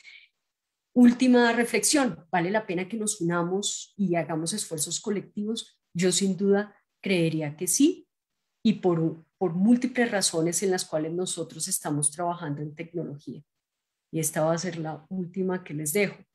Eh, yo pues trabajo en tecnología en múltiples áreas, a veces llevo un robot al salón de clase para ver cómo somos los humanos interactuamos con robots. Y dentro de los robots pues estamos tomando decisiones de qué tipo de inteligencia se diseñan ellos. Y ese tipo de inteligencia es una inteligencia distribuida, una inteligencia que va por metas compartidas o individuales, que se es consciente de otros o no se es consciente. Y de si las acciones que se toman con las tecnologías tienen en cuenta eh, el, avance de otros o no. Y aquí definimos si esas acciones que tenemos son coordinativas, colaborativas, cooperativas o colectivas. Y allí pues los invito para que ustedes se unan a esta ciencia viajera y con las tecnologías y sus saberes pues decidan dónde quieren estar con nosotros en esta inteligencia distribuida que tiene en cuenta los temas de género en Latinoamérica. Muchas gracias. Muchísimas gracias. Muchísimas gracias, Alba. Ha, sido un enorme gusto escuchar todo este, este viaje a través de, del continente, eh, desde, la, este, desde la Sociedad Americana de Física también estamos haciendo un conjunto de, de, este, actividades y, se está complementando. Esta es la, la, razón por la que invitamos tanto a la doctora Lilia como a la doctora eh, Alba es para poder también irnos acercando y que conozcan mucho de los, de los logros. Eh, nos están pidiendo este, la liga de la página de Vitral, ya este, para poder también conocerla. Eh, ya nos comentaba la, la, doctora Lilia, que se encuentra este, a punto de lanzarse, pero ya ya pueden entrar. También está la, bueno, hay, algunas otras ligas y, vínculos que, que, estuvieron compartiendo y desde en la nueva página de la Sociedad Mexicana de Física, que está también a punto de ser lanzada, vamos a poder tener estos vínculos hacia las, las páginas de colaboración. Ya este, también está la, la página de la red CITEC, es, este, aquí eh, descrita. Eh, no lo pueden ver todos nuestros participantes, pero eh, vamos a, procurar contestar algunas de estas preguntas en, Facebook para que lo puedan este, ir viendo. Entonces yo, yo me comprometo a estar copiando estos, estos vínculos para que también lo puedan estar viendo. Nos quedan unos cuantos minutos. Este, me temo que el tiempo se, se va, se va, se va como, como espuma. Eh, también ya nos ha compartido la, doctora Ávila su, este, su, correo, que también estaré eh, poniendo eh, en, en, el, ah, bueno, a lo mejor este sí se los, se los voy diciendo. nada más, es a-intermedio ávila uniandes.edu.co. Entonces, para que lo puedan tener. Pero, eh, insisto, en la nueva página de la, de la Sociedad Mexicana de Física también habrá un espacio para el grupo de mujeres en la física, eh, de la cual ahorita soy responsable, y pues para poder este, escuchar. Entonces, me gustaría eh, preguntarle al público si tuviese alguna otra participación antes de que tenemos todavía cinco minutitos. Lorena, dejé también un enlace de los talleres anteriores por si quieren ver las diversas temáticas. Sí, ahorita estoy guardando el chat para poder hacer el comentario de todos, estas, este, todos estos vínculos en, el Facebook de la Sociedad Mexicana de Física y de esta manera puedan también recuperar tanto eh, el vínculo para los libros como para las actividades que se han estado haciendo. Eh, pues Lilia, no sé si quieras decir algo para cerrar antes de que nos se corte la, transmisión. Muchas gracias. Amalia les manda felicitaciones. Amalia, una gran amiga de, todo este equipo de trabajo de Grupo de Mujeres. Adelante, Lilia, por favor. Eh, finalmente, pues nuevamente agradecer a la Sociedad Mexicana de Física todo el apoyo que siempre nos ha brindado para poder eh, recorrer este camino, ¿no? que empezó con ese correo electrónico y que, bueno, nos lleva hasta justo también este momento donde tenemos ya un comité, donde tenemos sesiones durante el Congreso, un stand que esperemos que pronto ya eh, en, las próximas, en los próximos congresos presenciales nos visiten también. También invitar a, a todas, a todas, a todas y a todes, como dice Alba, para que eh, pues se incorporen a estas actividades. Hay muchas cosas que hacer, son bienvenidas las ideas, son bienvenidas todas las iniciativas para poder impulsarlas. Eh, también quiero comentarles que del libro tenemos ejemplares impresos y que justo cuando íbamos a empezar a distribuirlos a través de la sociedad, se, pues vino lo de la pandemia, pero eh, con mucho gusto quienes estés interesados, pues, pues interesadas, eh, buscamos el mecanismo de hacérselos llegar para que así puedan tenerlo en sus bibliotecas. Se puede descargar, ya sé que todo ahora es, electrónico, pero también es valioso tener eh, este, este libro. Y pues, eh, pues invitarlos nuevamente a unirse, invitarlas para que podamos seguir trabajando. Hay muchas cosas por hacer y me da mucho gusto ver aquí a mis colegas a todos los que están saludando. Muchísimas gracias. Muchísimas gracias, Lilia. También les invito mañana en la Asamblea General, estaremos dando el informe de actividades respecto a toda la mesa directiva y eh, pues invitarles a que se integren al Comité de, Equidad y No Discriminación de la Sociedad Mexicana de Física. Tenemos mucho trabajo y pocas manos, y, pero muchísimo entusiasmo. Entonces, por favor, eh, bienvenidas todas, todos, Bueno, pues una última palabra, Alba, antes de que... Estos esfuerzos y los resultados que han visto son parte pues, de charlas con colegas que nos interesa el tema y seguramente nosotras vamos a necesitar después una recarga. Ojalá en la transición algunos y algunas y algunos de ustedes tomen la pauta y sigan con ello y nosotros hacemos barra. Muchísimas gracias, Alba. Efectivamente, este, la, la, estafeta también nos toca pasarla a otras eh, generaciones y de verdad que estamos abiertas a escuchar y a compartir todas nuestras experiencias. Eh, muchas gracias, nos dice Montserrat Mendoza, muchas gracias por la plática, muy reconfortante escuchar que el panorama de la mujer en áreas STEM va mejorando. Gracias igualmente por impartir la charla con lenguaje inclusivo. Un gusto pues gracias nuevamente a la Sociedad Mexicana de Física. Ya estamos este, cerrando las actividades del día de hoy, pero eh, pues les esperamos, por favor, eh, en punto de las 9 de la mañana, que mañana retomamos actividades. Eh, pues muchas gracias Lilia, muchas gracias Alba y muchas gracias a todos los participantes y quienes nos están también siguiendo desde Facebook de la Sociedad Mexicana de Física. Muy buenas noches y nos estamos viendo. Hasta luego. Chao. Chao. Bye.